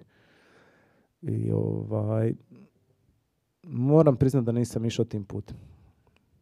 Iako kažem ono još od srednje škole učim harmoniju i, i, i na faksu i sigurno mi je mogao možda bolje zlorabiti, a opet pitanje šta bi to donijelo s mojim, mojim invencijama nekakvim, jel? Ne znam. ne znam. Možda kad budemo malo više vremena, kad mi djeca malo popuste. Dobro, a, stvari. e, recimo Evo koncept... Bibi je recimo ovaj, isto jako kasno krenuo s tim stvarima. Ona, njega je isto Damir nagovorio, samo što on ima u tom trenutku. On je i završio srednju sa, za kontrabas sa koliko? 40 i nešto godina i, i, ovaj, i, i sad, sad je i deda, ali još uvijek uči i, i ljestvice i, i tako da je nije umrsko. Jednostavno, ono, mislim da je, da je to stvari prije svega volje i nekakvog dobrog načina ob- objašnjavanja. Recimo, na jako je bilo zabavno, gledao sam od kolege Delača radionicu neki dan, on isto imao imao jako puno živaca i dosta je dobar profesor. Sviđa mi se ovaj, kako, kako on to vidi. O, treba, treba slušati u stvari ljude koji to znaju lijepo objasniti. Koji to mogu onako nježno, da te ne, ne, ne zašamaraju sa informacijama i kažu ti sad ti. Dobro, a recimo evo tvoja neka dnevna rutina, mislim, e, siguran sam da e, nekad si sigurno na akademiji si više radio možda te neke tehničke vježbe, etide, e, neke koncerte si uvježbavao i to, pa možda danas manje radiš, e, ne znam, rastavljene akorde, arpeđa, ovo ono, ali koja bi recimo bila tvoja neka uobičajena dnevna rutina, ako postoji, jasno, na, pretpostavljam da Mora postoji. postojati zato što ovaj, postoje dani kad ne vježbam jednostavno jer je takav život kad ne vježbam onda, onda ako ne vježbaš 3-4 dana moraš se vraćati na staro. Držim nekakav nivo početka faksa. Znači za tehniku. Jer više, više ne mogu odsvirati ono što sam mogao na kraju faksa, daleko od toga. To, to više nije tih 3, 4, 5 sati dnevno sviranja. Pokušavam znači, zadržati nivo prve, druge godine akademije, nekih etida, ljestvica. Čisto da imam jedan ovaj dijapazon stvari za ugrijavanje. I onda isprobao nakon toga. Znači, no, odradim pol sata, sat nekakvih ono, osnovnih stvari i nakon toga krenem isprobavati neke potpuno druge stvari. Znači, idem vidjeti gdje, gdje sam koristan, šta mogu kome pomoći. Iz tih svih svojih suradnji, a ima ih stvarno puno. A recimo ja prije koncerata, recimo da li se zagrijavaš u garderobi ili, ili taj dan? Više, više se restoranu zagrijavam uz ove nekakve napitke i tako dalje. Ne, vrlo malo. Vrlo malo. Zna, zeznuto je kada, se, kad je hladno, recimo. ono, kad imaš ove nekakve advente i nove godine, to je, to je nemoguće. Mislim, to, to za violinu stvarno nema nikakvog smisla. Em ti se raštimava, em ti prsti kao krompiri a ne možeš staviti ni rukavice, ni ništa. Je tad je problem. Ili ti je problem recimo kad si na moru, kad je vlaga velika, pa ti se instrument konstantno raštimava, pa ti se recimo ovo gudalo koje mora stajati ovako, ti stoji ovako cijelo vrijeme. Ti ga ne možeš, znači ti stoji ti, ne, možeš ništa. To ti se događa svaki pet minuta i ti ga zatežeš ko, ko, ko luk i strijelu, znači s ovim šarafom koliko možeš na kraju. Na kraju kada ga, kad se, ako slučajno zaboraviš to preko noći, ujutro se probudiš, gudao stoji ovako. Mislim, to, to, to su nekakve situacije koje nisu nikako dobre za... Ali generalno u nekim normalnim uvjetima, ako si u kakvoj takvoj formi, ok. Ok, to. Dobro je napraviti probicu, na tonskoj probi se može napraviti jedno ugrijavanje, onda je dobro otići nešto pojesti. I popiti. Mislim, to, to bi bio nekakav dobar slijed događaja. Ako se slažeš. Super. A, reci mi, a gdje nalaziš recimo inspiraciju za, za dalje bavljanje glazbom?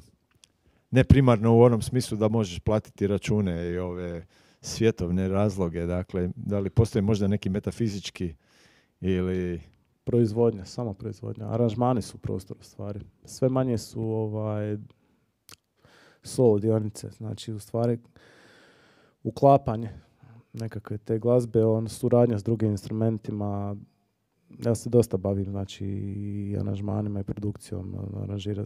Imam sreću, radim s ovim gdje sam, gdje sam počeo, znači gdje sam se upoznao sa Sibelijom, sam s ove moje, moje cure Ezerke, to je zna- zbor makedonske glazbe, jedna od pjesama koje smo izveli malo prije, s kojima radim preko 20 godina, s njima sam ono, otvorio recimo troglasno pjevanje, pa smo to troglasno pjevanje pojačali sa, sa aranžmanima za orkestar, znači tu sam uveo ljudima koji nisu radili s notama note. Tu sam počeo, onda sam poslije toga recimo aranžirao nekakve gud- zagudačke kvartete, nekakve obrade filmske glazbe i tako dalje, pa sam pa sam za svoje bendove isto znači radio nekakve okvirne aranžmane, znaš kako izgledaju čartovi, može biti čart samo ritam i, i harma gore, a možeš i napisati nekakve teme. Pa me to dovelo recimo do nekakvih ovaj, manjih orkestrića, na kraju evo, uspio sam zadnjih dvije, tri godine recimo aranžirati jednu Masimovu pjesmu za simfoničare, rad- radio sam Zorana Predina sa Zagrebačkom filharmonijom, kompletne aranžmane uz pomoć Ive Popeskića. I to su neke stvari koje su meni ono, prostor koji, koji mi se čini interesantan. Studio, znači snimanje, ono, mislim da bi ono, svaki glazbenik koji drži do sebe treba imati nekakvu instalaciju doma na kojoj bi mogao nešto proizvesti. Ne, ne mora to biti sad nekakvog ono, finalnog karaktera i, i, i krajnji proizvod, ali barem da nekakvu informaciju možeš proizvesti. Ja, ja se s tim bavim, ono, uglavnom radim više sa akustičnim stvarima, a ovaj, to su nekakve varijante. To nekakav software glazbeni isto proučiti da su to Sibeliusi, ne Sibelius što se tiče nota, ovdje možeš, ja radim na Pro Toolsima, recimo neko radi na Cubase, neko radi na Logicu, Nuendo, šta ja znam, i tu da, da, možeš nešto ovaj, proizvesti u trenutku kad nema svirki. Evo, ono, znači svirke su super, ali, ali nisu svirke sve. Reci mi, e, imaš li neke dugoročne projekte, nekakvu petoljetku, ono, svoju, da li imaš nekakve snove koje želiš ostvariti možda? Ili neki projekt koji još nisi započeo, a mota ti se po glavi? Ma uvijek, uvijek. Znači, svi bendovi s kojima radim, znači od Django grupa koji, koji je sada većim dijelom sa mnom, znači ovaj, pokušavamo nastaviti tu baštinu Kukuruzovića i nastaviti raditi u, u, u tom džiru, pa radimo projekt sa Zoranom Predinom isto. Napravili smo Zoran pjeva Arsena, s- postoji mogućnost da uđemo u neku novu sada isto suradnju od koje ne smijem baš puno pričati, ali, ali postoji mogućnost da nastavimo u toj nekakvoj Gypsy Jazz maniri obrađivati još neke stvari. Moji bendovi, znači Ezerke više manje taj makedonski etno smo uglavnom potrošili, tako da tu možemo još isto nekog prostora u aranžmanima imati. Moj drugi band Mavi Kant se bavi sada trećim albumom, to ćemo vjerojatno privesti kraju, to je nešto što, što je, o čemu smo pričali malo prije, što bi možda bilo interesantno za čuti. Sad imam puno koncerata svih tih projekata u, u sljedećih mjesec, dva, pa bit će novih ideja sigurno. A uvijek ne, ne manjka ideja, i dru, produciram nekim drugim svojim suradnicima, neke stvari aranžiram, pa ono, ne- nikad ne spavamo. Ali dakle, u glazbe se e, može živjeti, očito ti si živi dokaz. Sam si rekao da si samostalni umjetnik. Ali nabrajamo i ovo, i ovo, i A da, ovo, mislim, i ovo. Pa znam šta Od jednog projekta se očito ne može, ne može živjeti. Nema ako nisi, ne znam, ono, Robbie Williams ćeš teško, ono, baš, ne znam. U Hrvatskoj je teško, na čast izuzecima, ali pa i ne samo u Hrvatskoj, nego u široj okolini. Ono, mora, moraš biti stvarno, ono, malo, malo tržište. Malo mi tržište, da možemo preći preko granice. Bilo bi, bilo bi zanimljivo s nekim od ovih projekata malo opet ozbiljnije preći preko granice, pa, pa se malo ovaj, potući. E, e, posjetio sam tvoj YouTube kanal, vidim da nisi baš nešto aktivan na YouTube-u. Dakle, nisi jedan od onih što svakih tjedan dana neki svoj novi video produciraju, dižu Nisam na vješt, YouTube. Nisam vješt s tim. Mislim da su mi društvene veže, mreže više pokazne onako nekako. Ono, to, to sam skužio da moram, ali da sam nešto posebno sretan sa, ono, sa, sa objavljivanjem svoje inti, ok, ne intima, in- ono, radimo, ono što radimo, što vrijedi, to pustimo, ali da, da bi sad objavljivao ono, sve i svašta. I za- mislim, zašto, zašto objavljivati neke stare uratke ako ih nisam tad... Ako se nešto novo dogodi, napravim. Ali s druge strane izdavači nekako ovaj, barataju s time, ne mogu ja to objavljivati u njihovo ime, tako?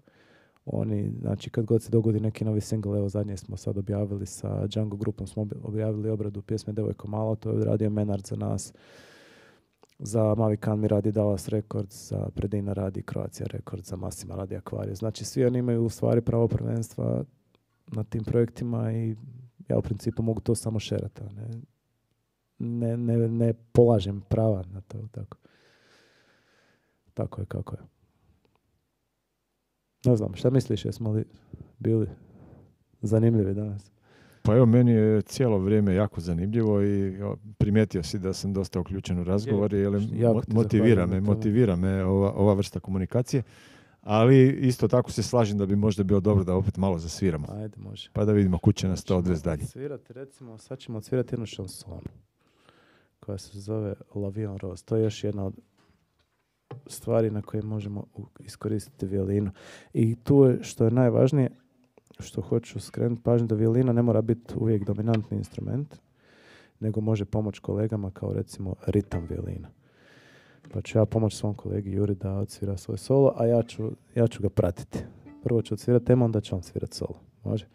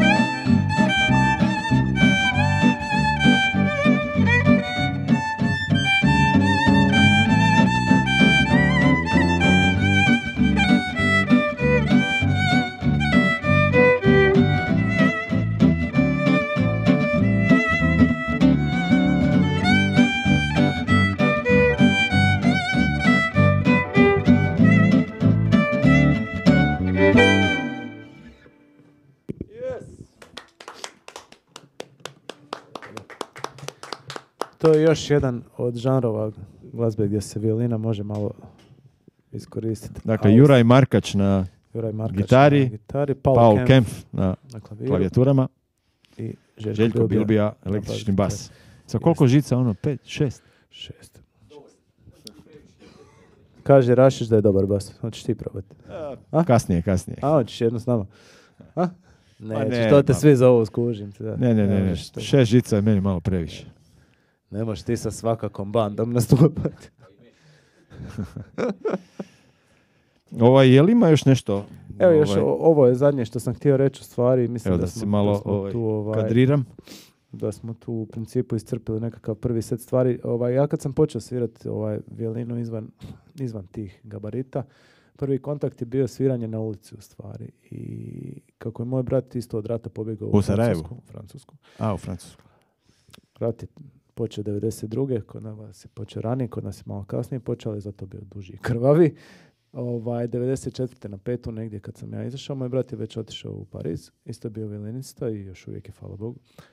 Ovaj, I on je svoje prve tamo kontakte napravio sviranjem u metrou ili na ulici. I onda kada bi ja, kad sam ja uspio upisati faks u Zagrebu, 95. A nisam imao gdje biti više, onda to je bio neki početak sedmog mjeseca, do, dok nije počeo faks za desetog mjeseca. On je meni predložio da ja dođem u Pariz svirat s njim. I ovaj, ja sam došao u Pariz svirat s njim, onda smo se morali odlučiti, pošto je on violinista, ko će, ovaj, ko će biti solo violina, ko će biti ova druga violina. Onda sam ja otkrio pojam ritam violine. I onda sam ja počeo u stvari skidati, tu sam, tu sam u stvari prvi put se susreo sa, sa otkrivanjem harmi u toj cijeloj ovaj, glazbi i mislim da je bilo to jako korisno što me kasnije ovaj, i, i uputilo i prema aranžmanima, kasnije i prema tim gruvima, u stvari, ja sam pustio njega, znači da on svira sve te ovaj, prekrasne arije i tako dalje, ja sam njega pratio sa nekakvim ovaj, rubatima, znači ono, ne znam, a, o sole, mi, na, na, na, na, na, na, na, na,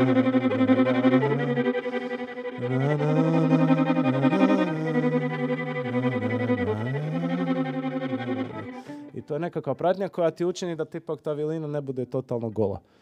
I dvojica smo onda jedan mogao, znači kad bi te odsvirali ići sa šeširom skupljati E pa to sam upravo htio E, reći, da. To smo kasnije... To je ovaj, dosta, dosta to smo- važna stvar. Je, je, je. Jer ja, ovaj, evo, ne bi vjerovao, isto imam iskustvo sviranja u pariškom metrou. Da, Samo nekih desetak godina ranije. Ja sam u Parizu bio od 82. do 80. i- do kraja 84. početka 85. I imam e, jedno, jedni, jednu godinu dana dosta intenzivnog sviranja po metrou. pa to je jedna institucija u Da. stvari. Ako ćemo... E, pa, Tamo ne možeš bez papira, bez dozvola. Dan danas imam svoje pojačalo e, koje je radilo na baterije, jel? Da. koje sam kupio baš samo zbog toga, To ne bi dao za ništa, vjerovatno. Tako to. to ne ide na aukciju ovu koju E, spremamo. pa ne, čak ta firma i ne postoji više. Baš sam tražio po internetu, firma ne postoji. Pa to je ta tuga, recimo za ovaj mikrofon više firma ne postoji, je prestao raditi. To mi ne znam šta ću kad ovaj crkne. Ali pazi ovo, imam e, u familiji, dakle nije mi krvni rod, ali preko supruge Hadži, dakle iz Da, da, Kraljeva da, ulice. On je vi- violist, svira violu. On je u to vrijeme isto počeo svoju epopeju ovaj, života po pariškim e, e, potkrovljima i sviranja po metrou.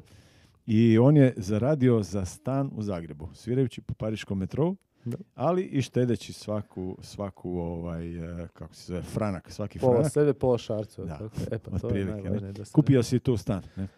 u Zagrebu. E, I svejedno se opet vratio u Pariz i zaradio i za drugi stan kad je ovaj prodao, kupio veći itd. itd. Hoćeš Ali- reći da ima još dva stana. E, sad ima veći. Ali htio sam reći, otkrio mi jednu jako dobru foru, jedan e, štos.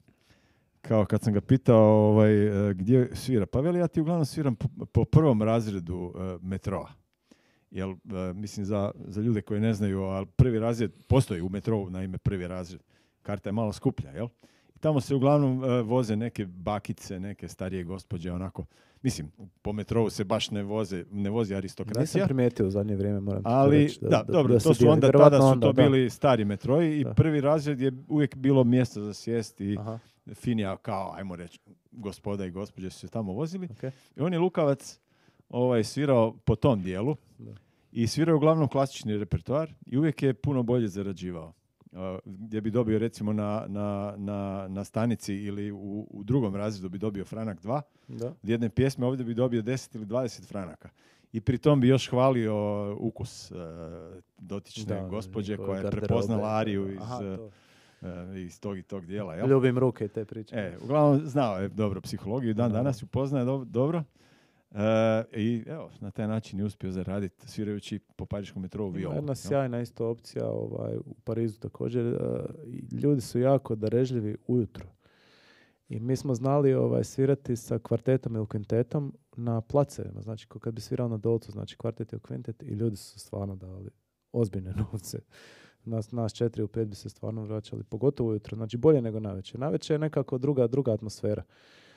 Onda, onda više dominira nekako ono, ipak, neću reći polusvijet, ali nekako je drugčija je cijela ta varijanta. Onda se uključi Je, slažem se, takvo je i moje ali iskustvo. ujutro je nekako sve finjak i nekako su spremni. Da, to smo znači isprobali tu istu priču u Ilionu i u Kanu, pogotovo u Kanu je to još na ono, duplo veća lova i to su moje 90. Ja sam od te, od te love u stvari najnormalnije studirao u Zagrebu i ono živio i bio vrlo ono galantan za pojma, jer sam živio u studentskom domu, tad je stvarno bilo ono, ako imaš ono par sto maraka, I, i bitno je ovo što si rekao, važno je imati osobu sa šeširom koja stalno cirkulira. a da drugi još i dalje svira, znači da se show ne prekida. Da, da, da. I, a najgore je ono, kad ti sviraš, sviraš, staneš E, jeste. i onda te kreneš I dok obiđeš sve to, oni već zaborave. ovi već pola Pa njih da. pobjegne ili zaborave Da, ili samo se prošeću, ne? i Da, da, tako. da, mali novčić za muzičara, koje muzičare, ne znam, kao, nema.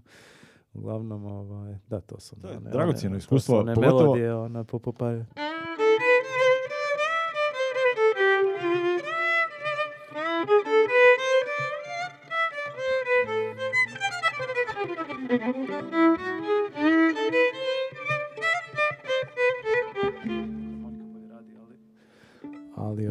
to jako reagiraju na te, na te neke stvari. Ili reagiraju recimo na jednu stvar koju smo pripremili za kraj, ovaj, kad ćemo odsvirati, to, će, to ćeš vidjeti, to je, to je jedna onako isto stvarčica koja im jako sjeda na tu s- slavu. Ok, hoćemo lagano Hoćemo. privoditi kraju. Može. Mislim, Odjavna- e, ne odjavna moramo- špica.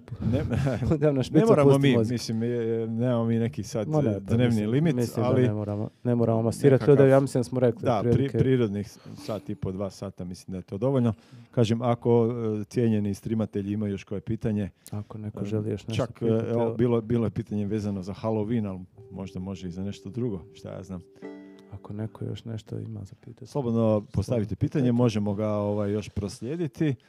Ovaj, ja vas sve, e, svima se zahvaljujem po osob što ste bili večerašnji gosti Hvala i našem puno. gostu isto tako također u publici.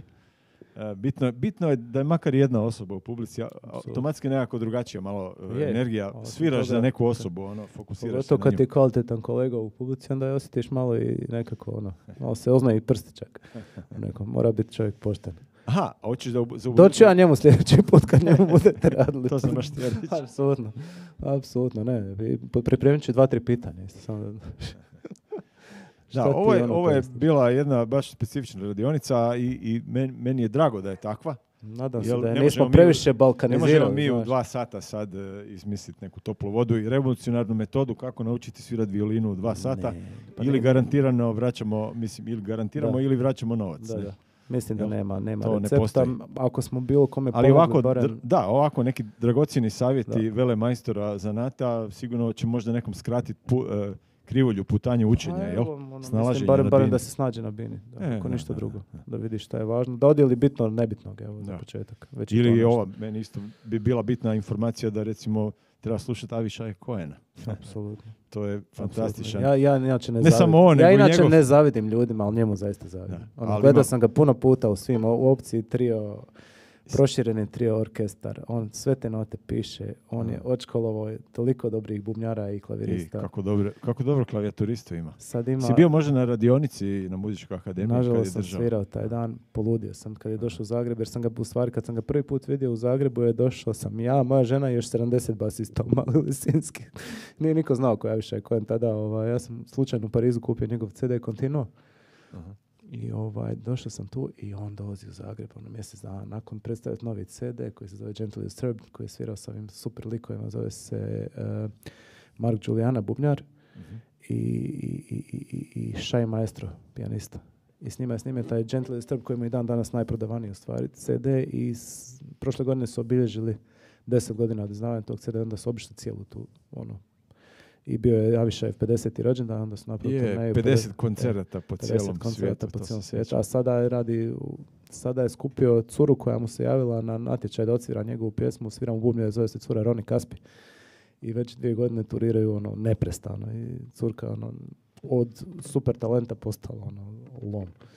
I još i pijanista ovaj kako se zove, Elčin Širinov se zove, odlična ekipa.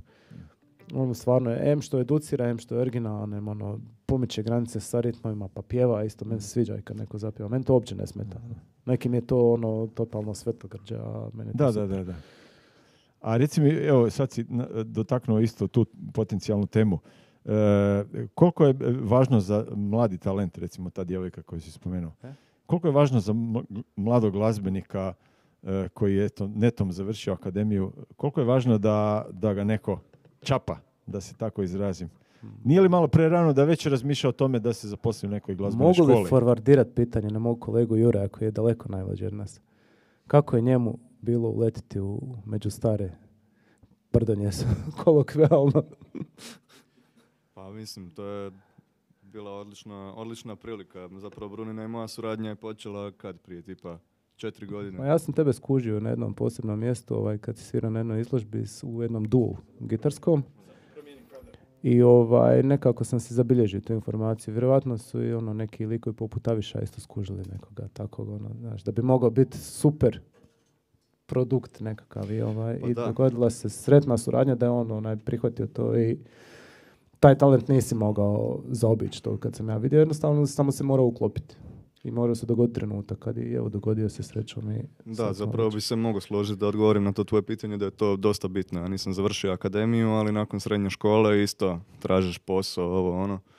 Ovaj, tako da mi je, ono, jako sam sretan što me Bruno zapravo uhvatio, ovaj, što mogu s njim surađivati. I to me zapravo pokrenulo da se i dalje, da se motivirano bavim muzikom, tako da... ono. Da, ja mislim da je to jako važno. Ne? Pa mislim, ja sam to skužio kod ovih starih američkih majstora. K- počev od Woody Hermana, ne znam, eh, pa čak i Zavinula i Shortera, koji su uvijek nalazili te najtalentiranije glazbenike, koji su obilazili Berkeley i najtalentiranije mlade glazbenike iz te generacije bi uzimali svoje big bandove ili sastave i Najviše onda... je ko je ne počeo kod Chicory. Da, da. Ali navodno da prvu godinu dana kad, je- kad je došao, doselio iz Tel Aviva, je izašao na neku svirku i tako su ga zatukli da godinu dana nije izašao iz sobe. Misliš samo je instrumentalno, samo je vježbao glazbeno? I onda se pojavio jedan dan i onda, onda se stvar malo promijenila. Da, da, po- pogod- njujorška scena je u tom smislu je nemilosrdna, ne? Da, da. Njujorške scene. u stvari. Onda recimo, ne znam, Mi- Miles Davis koji je krajem 70. godina imao u svom bendu Johna McLaughlina, Joe Zavinula, Chick Corea, Keith Jarretta, Dave Hollanda, mislim, ono, koji su tada bili zapravo klinci, ne? To su Herbie. Hancocka, ne? To su vizionari, da.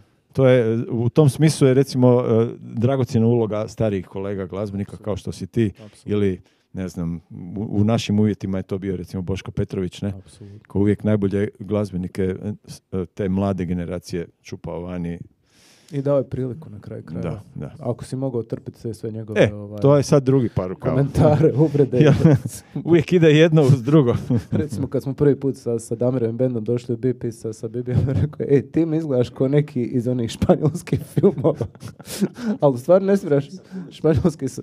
Španjolski sapunica. Da, šta je još? e, da, i, Uopće ne sviraš loše, ali- ličiš na, e, ličiš na Vladu Kalembera, nadam se da svirka nije takva. Čekaj, sad kad te malo bolje pogledam. Je, je, da, da. Ali to je, al, al- na, al to je, na račun toga pima al to dosta je priča. jedina, ali to je jedina inače stvar koju sam ja onako, meni je to bilo simpatično sve. Od, od, e, Ostala je ta simpatija, da. Da. Ostala je ta simpatija. Da, da. Sve je bilo vrlo, vrlo u redu. e. Boško je bio... hm, Je, imali smo sreću zahvatiti taj dio isto. Ali meni recimo nik, Ha, mislim, razoružao nikad nije ono, ono, Razoružao si koliko smo ono kratko se ono poznavali, Ja se sjećam da sam jednom, je ovaj, sam jednom morao odsvirat neki uvod na, na klaviru, inače stvarno to mi je ono užas. Rekao, a da skromno prešutiš. Dakle, on je bio isto Arsen Dedić škola. Da, da, dakle, da. cinik i... je. Ali To inteligentan. srećom isto upoznali kroz te, kroz te projekte jer je Predin stvarno ono bio kućni prijatelj s njim i smatio smo ok, tako da smo barem dio te scene upoznali. Neki koji ono mlađi ljudi neće stvarno ovaj, to je recimo za Juru vjerovatno isto neprocjenjivog značaja. Radi sa likovima te generacije. Kao što su ono svirat Arsenove pjesme ili ono ići na put sa Predinom koji je stvarno živopisan lik maksimalno A evo da se vratim na, na Damira, ja se sjećam, e, e, ja sam e, krajem 90-ih radio na HTV-u kao glazbeni urednik u jednoj emisiji koja se zvala Cross Session. I Sjećam tematski su bile koncipirane te emisije. I e, jedna emisija baš bila posvećena swing jazzu, gypsy jazzu. I goto, gostovao je Hot Club Zagreb Mate i spokojnog e, profesora Bubanovića Da. i Mate Matišić e, i Damir. Damir. Damir je bio u tom bendu. Hrvoje Kralj, mislim isto da, ne, kako se zove gospodin Kralj, usni harmonikaš. E, Da li tad... me. Šta to nije već bilo kontrabas u priči, nije? m, ne znam ko je svirao Jurica bas. Štelma je svirao s njima kad su krenuli. Ne, tada, tad tada, nije još. 98. ni- nije, nije bio Štelma. Ne sjećam se ko je bio na basu, ali sjećam se Damira Mhm. kao jednog mršavog, visokog dečka, dugačke, dugačke valovite kose, To ono ostalo. plave, koji je odlično svirao. Ne? Da, on je bio blues gitarista u stvari i country. To je njemu bilo Ali vid- prvenstveno. vidjelo se da su tu u bendu da, koje, ko su glavni ovaj, Pa, da. dečki, ne? Naravno. On je malo sa strahopoštovanjem to sve skupa gledao, ali vidjelo se veliki talent i volja i želja kako, da nauči, ne? kako ne. Tako On da je- nevjerovat rapidan, rapidan ono, napredak ima.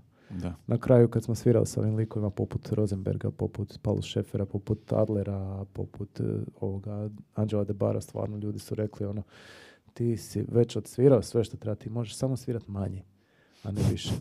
Sve, sve si naučio, sve fraze znaš, sve si skinuo, imaš kreaciju, sada se skulira i fakat je išlo prema tome. I, i, i najveća tuga sa ovim našim zadnjim CD-om koji smo izdali Smile i u stvari što smo konačno dobili i Damira u najboljem svjetlu i sve nas ono gdje smo stvarno smirili, dobili smo svirku kako smo htjeli, dobili smo fantastične goste, recimo pol CD odsvirao Paulus Schäfer koji je fantastičan gitarista i gizmografija njemački gitarista i dobili smo cool svirku, par BPM-a sporije, ali sa, sa, sa šugom, sa mesom, super smiksano, znači za Gypsy Swing gdje, gdje je bilo kompromisa uvijek sa, sa, sa produkcijom, napravili smo sve na najjači, napravili smo LP sve i, i ode nam, tako.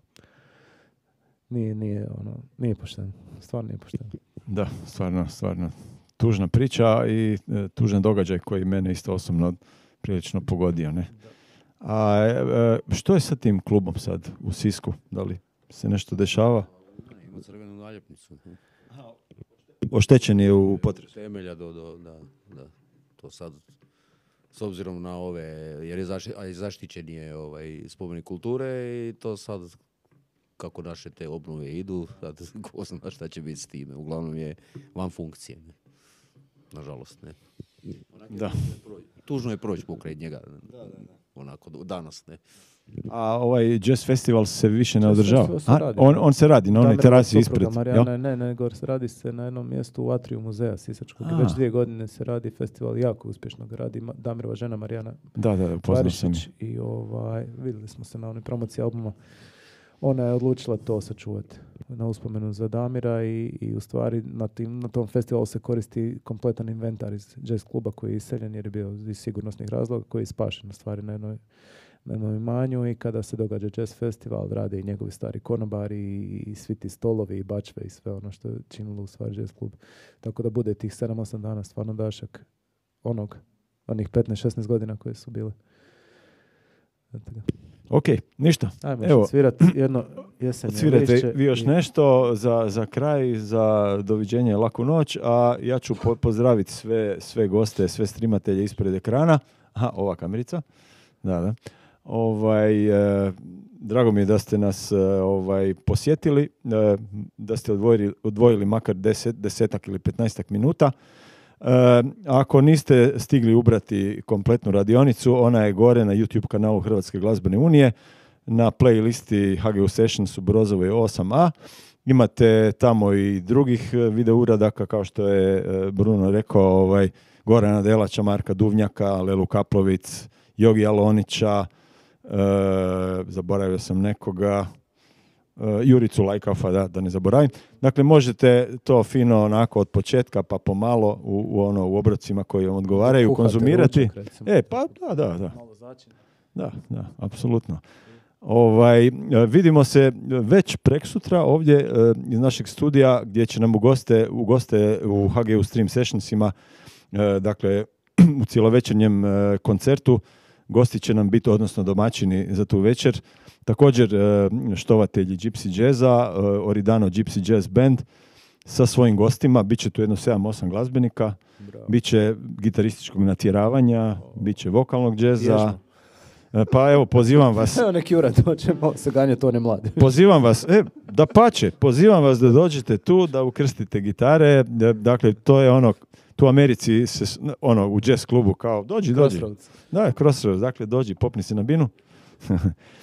to je, dakle, u srijedu 26. listopada, a danas tjedan dana e, imamo e, zadnju radionicu u ovoj seriji HGU, HGU radionica u Brozovoj 8a i bit će posvećena, zapravo bit će više jedan okrugli stol posvećen bas gitari kao takvoj, odnosno instrumentima sa najdebljim i, e, žicama i naj, najdubljim tonovima Napravi- i naj, i- pa složio bi se s tim.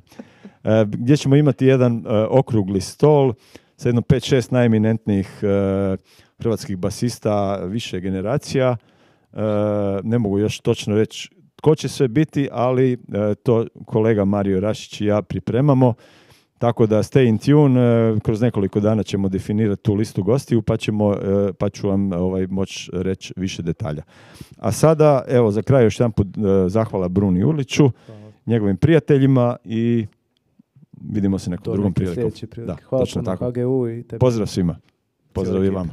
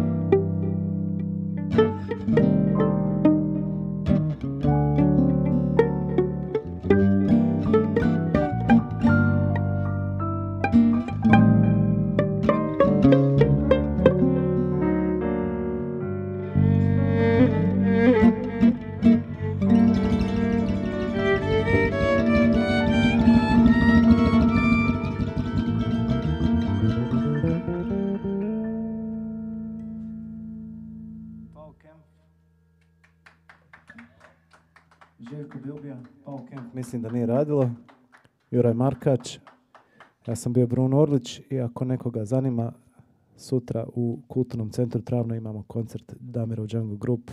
Ako još ima mjesta, mada mislim da nema, ali pitajte, izgleda da još ima možda. Ne znam, evo, rekli su jučer da nema.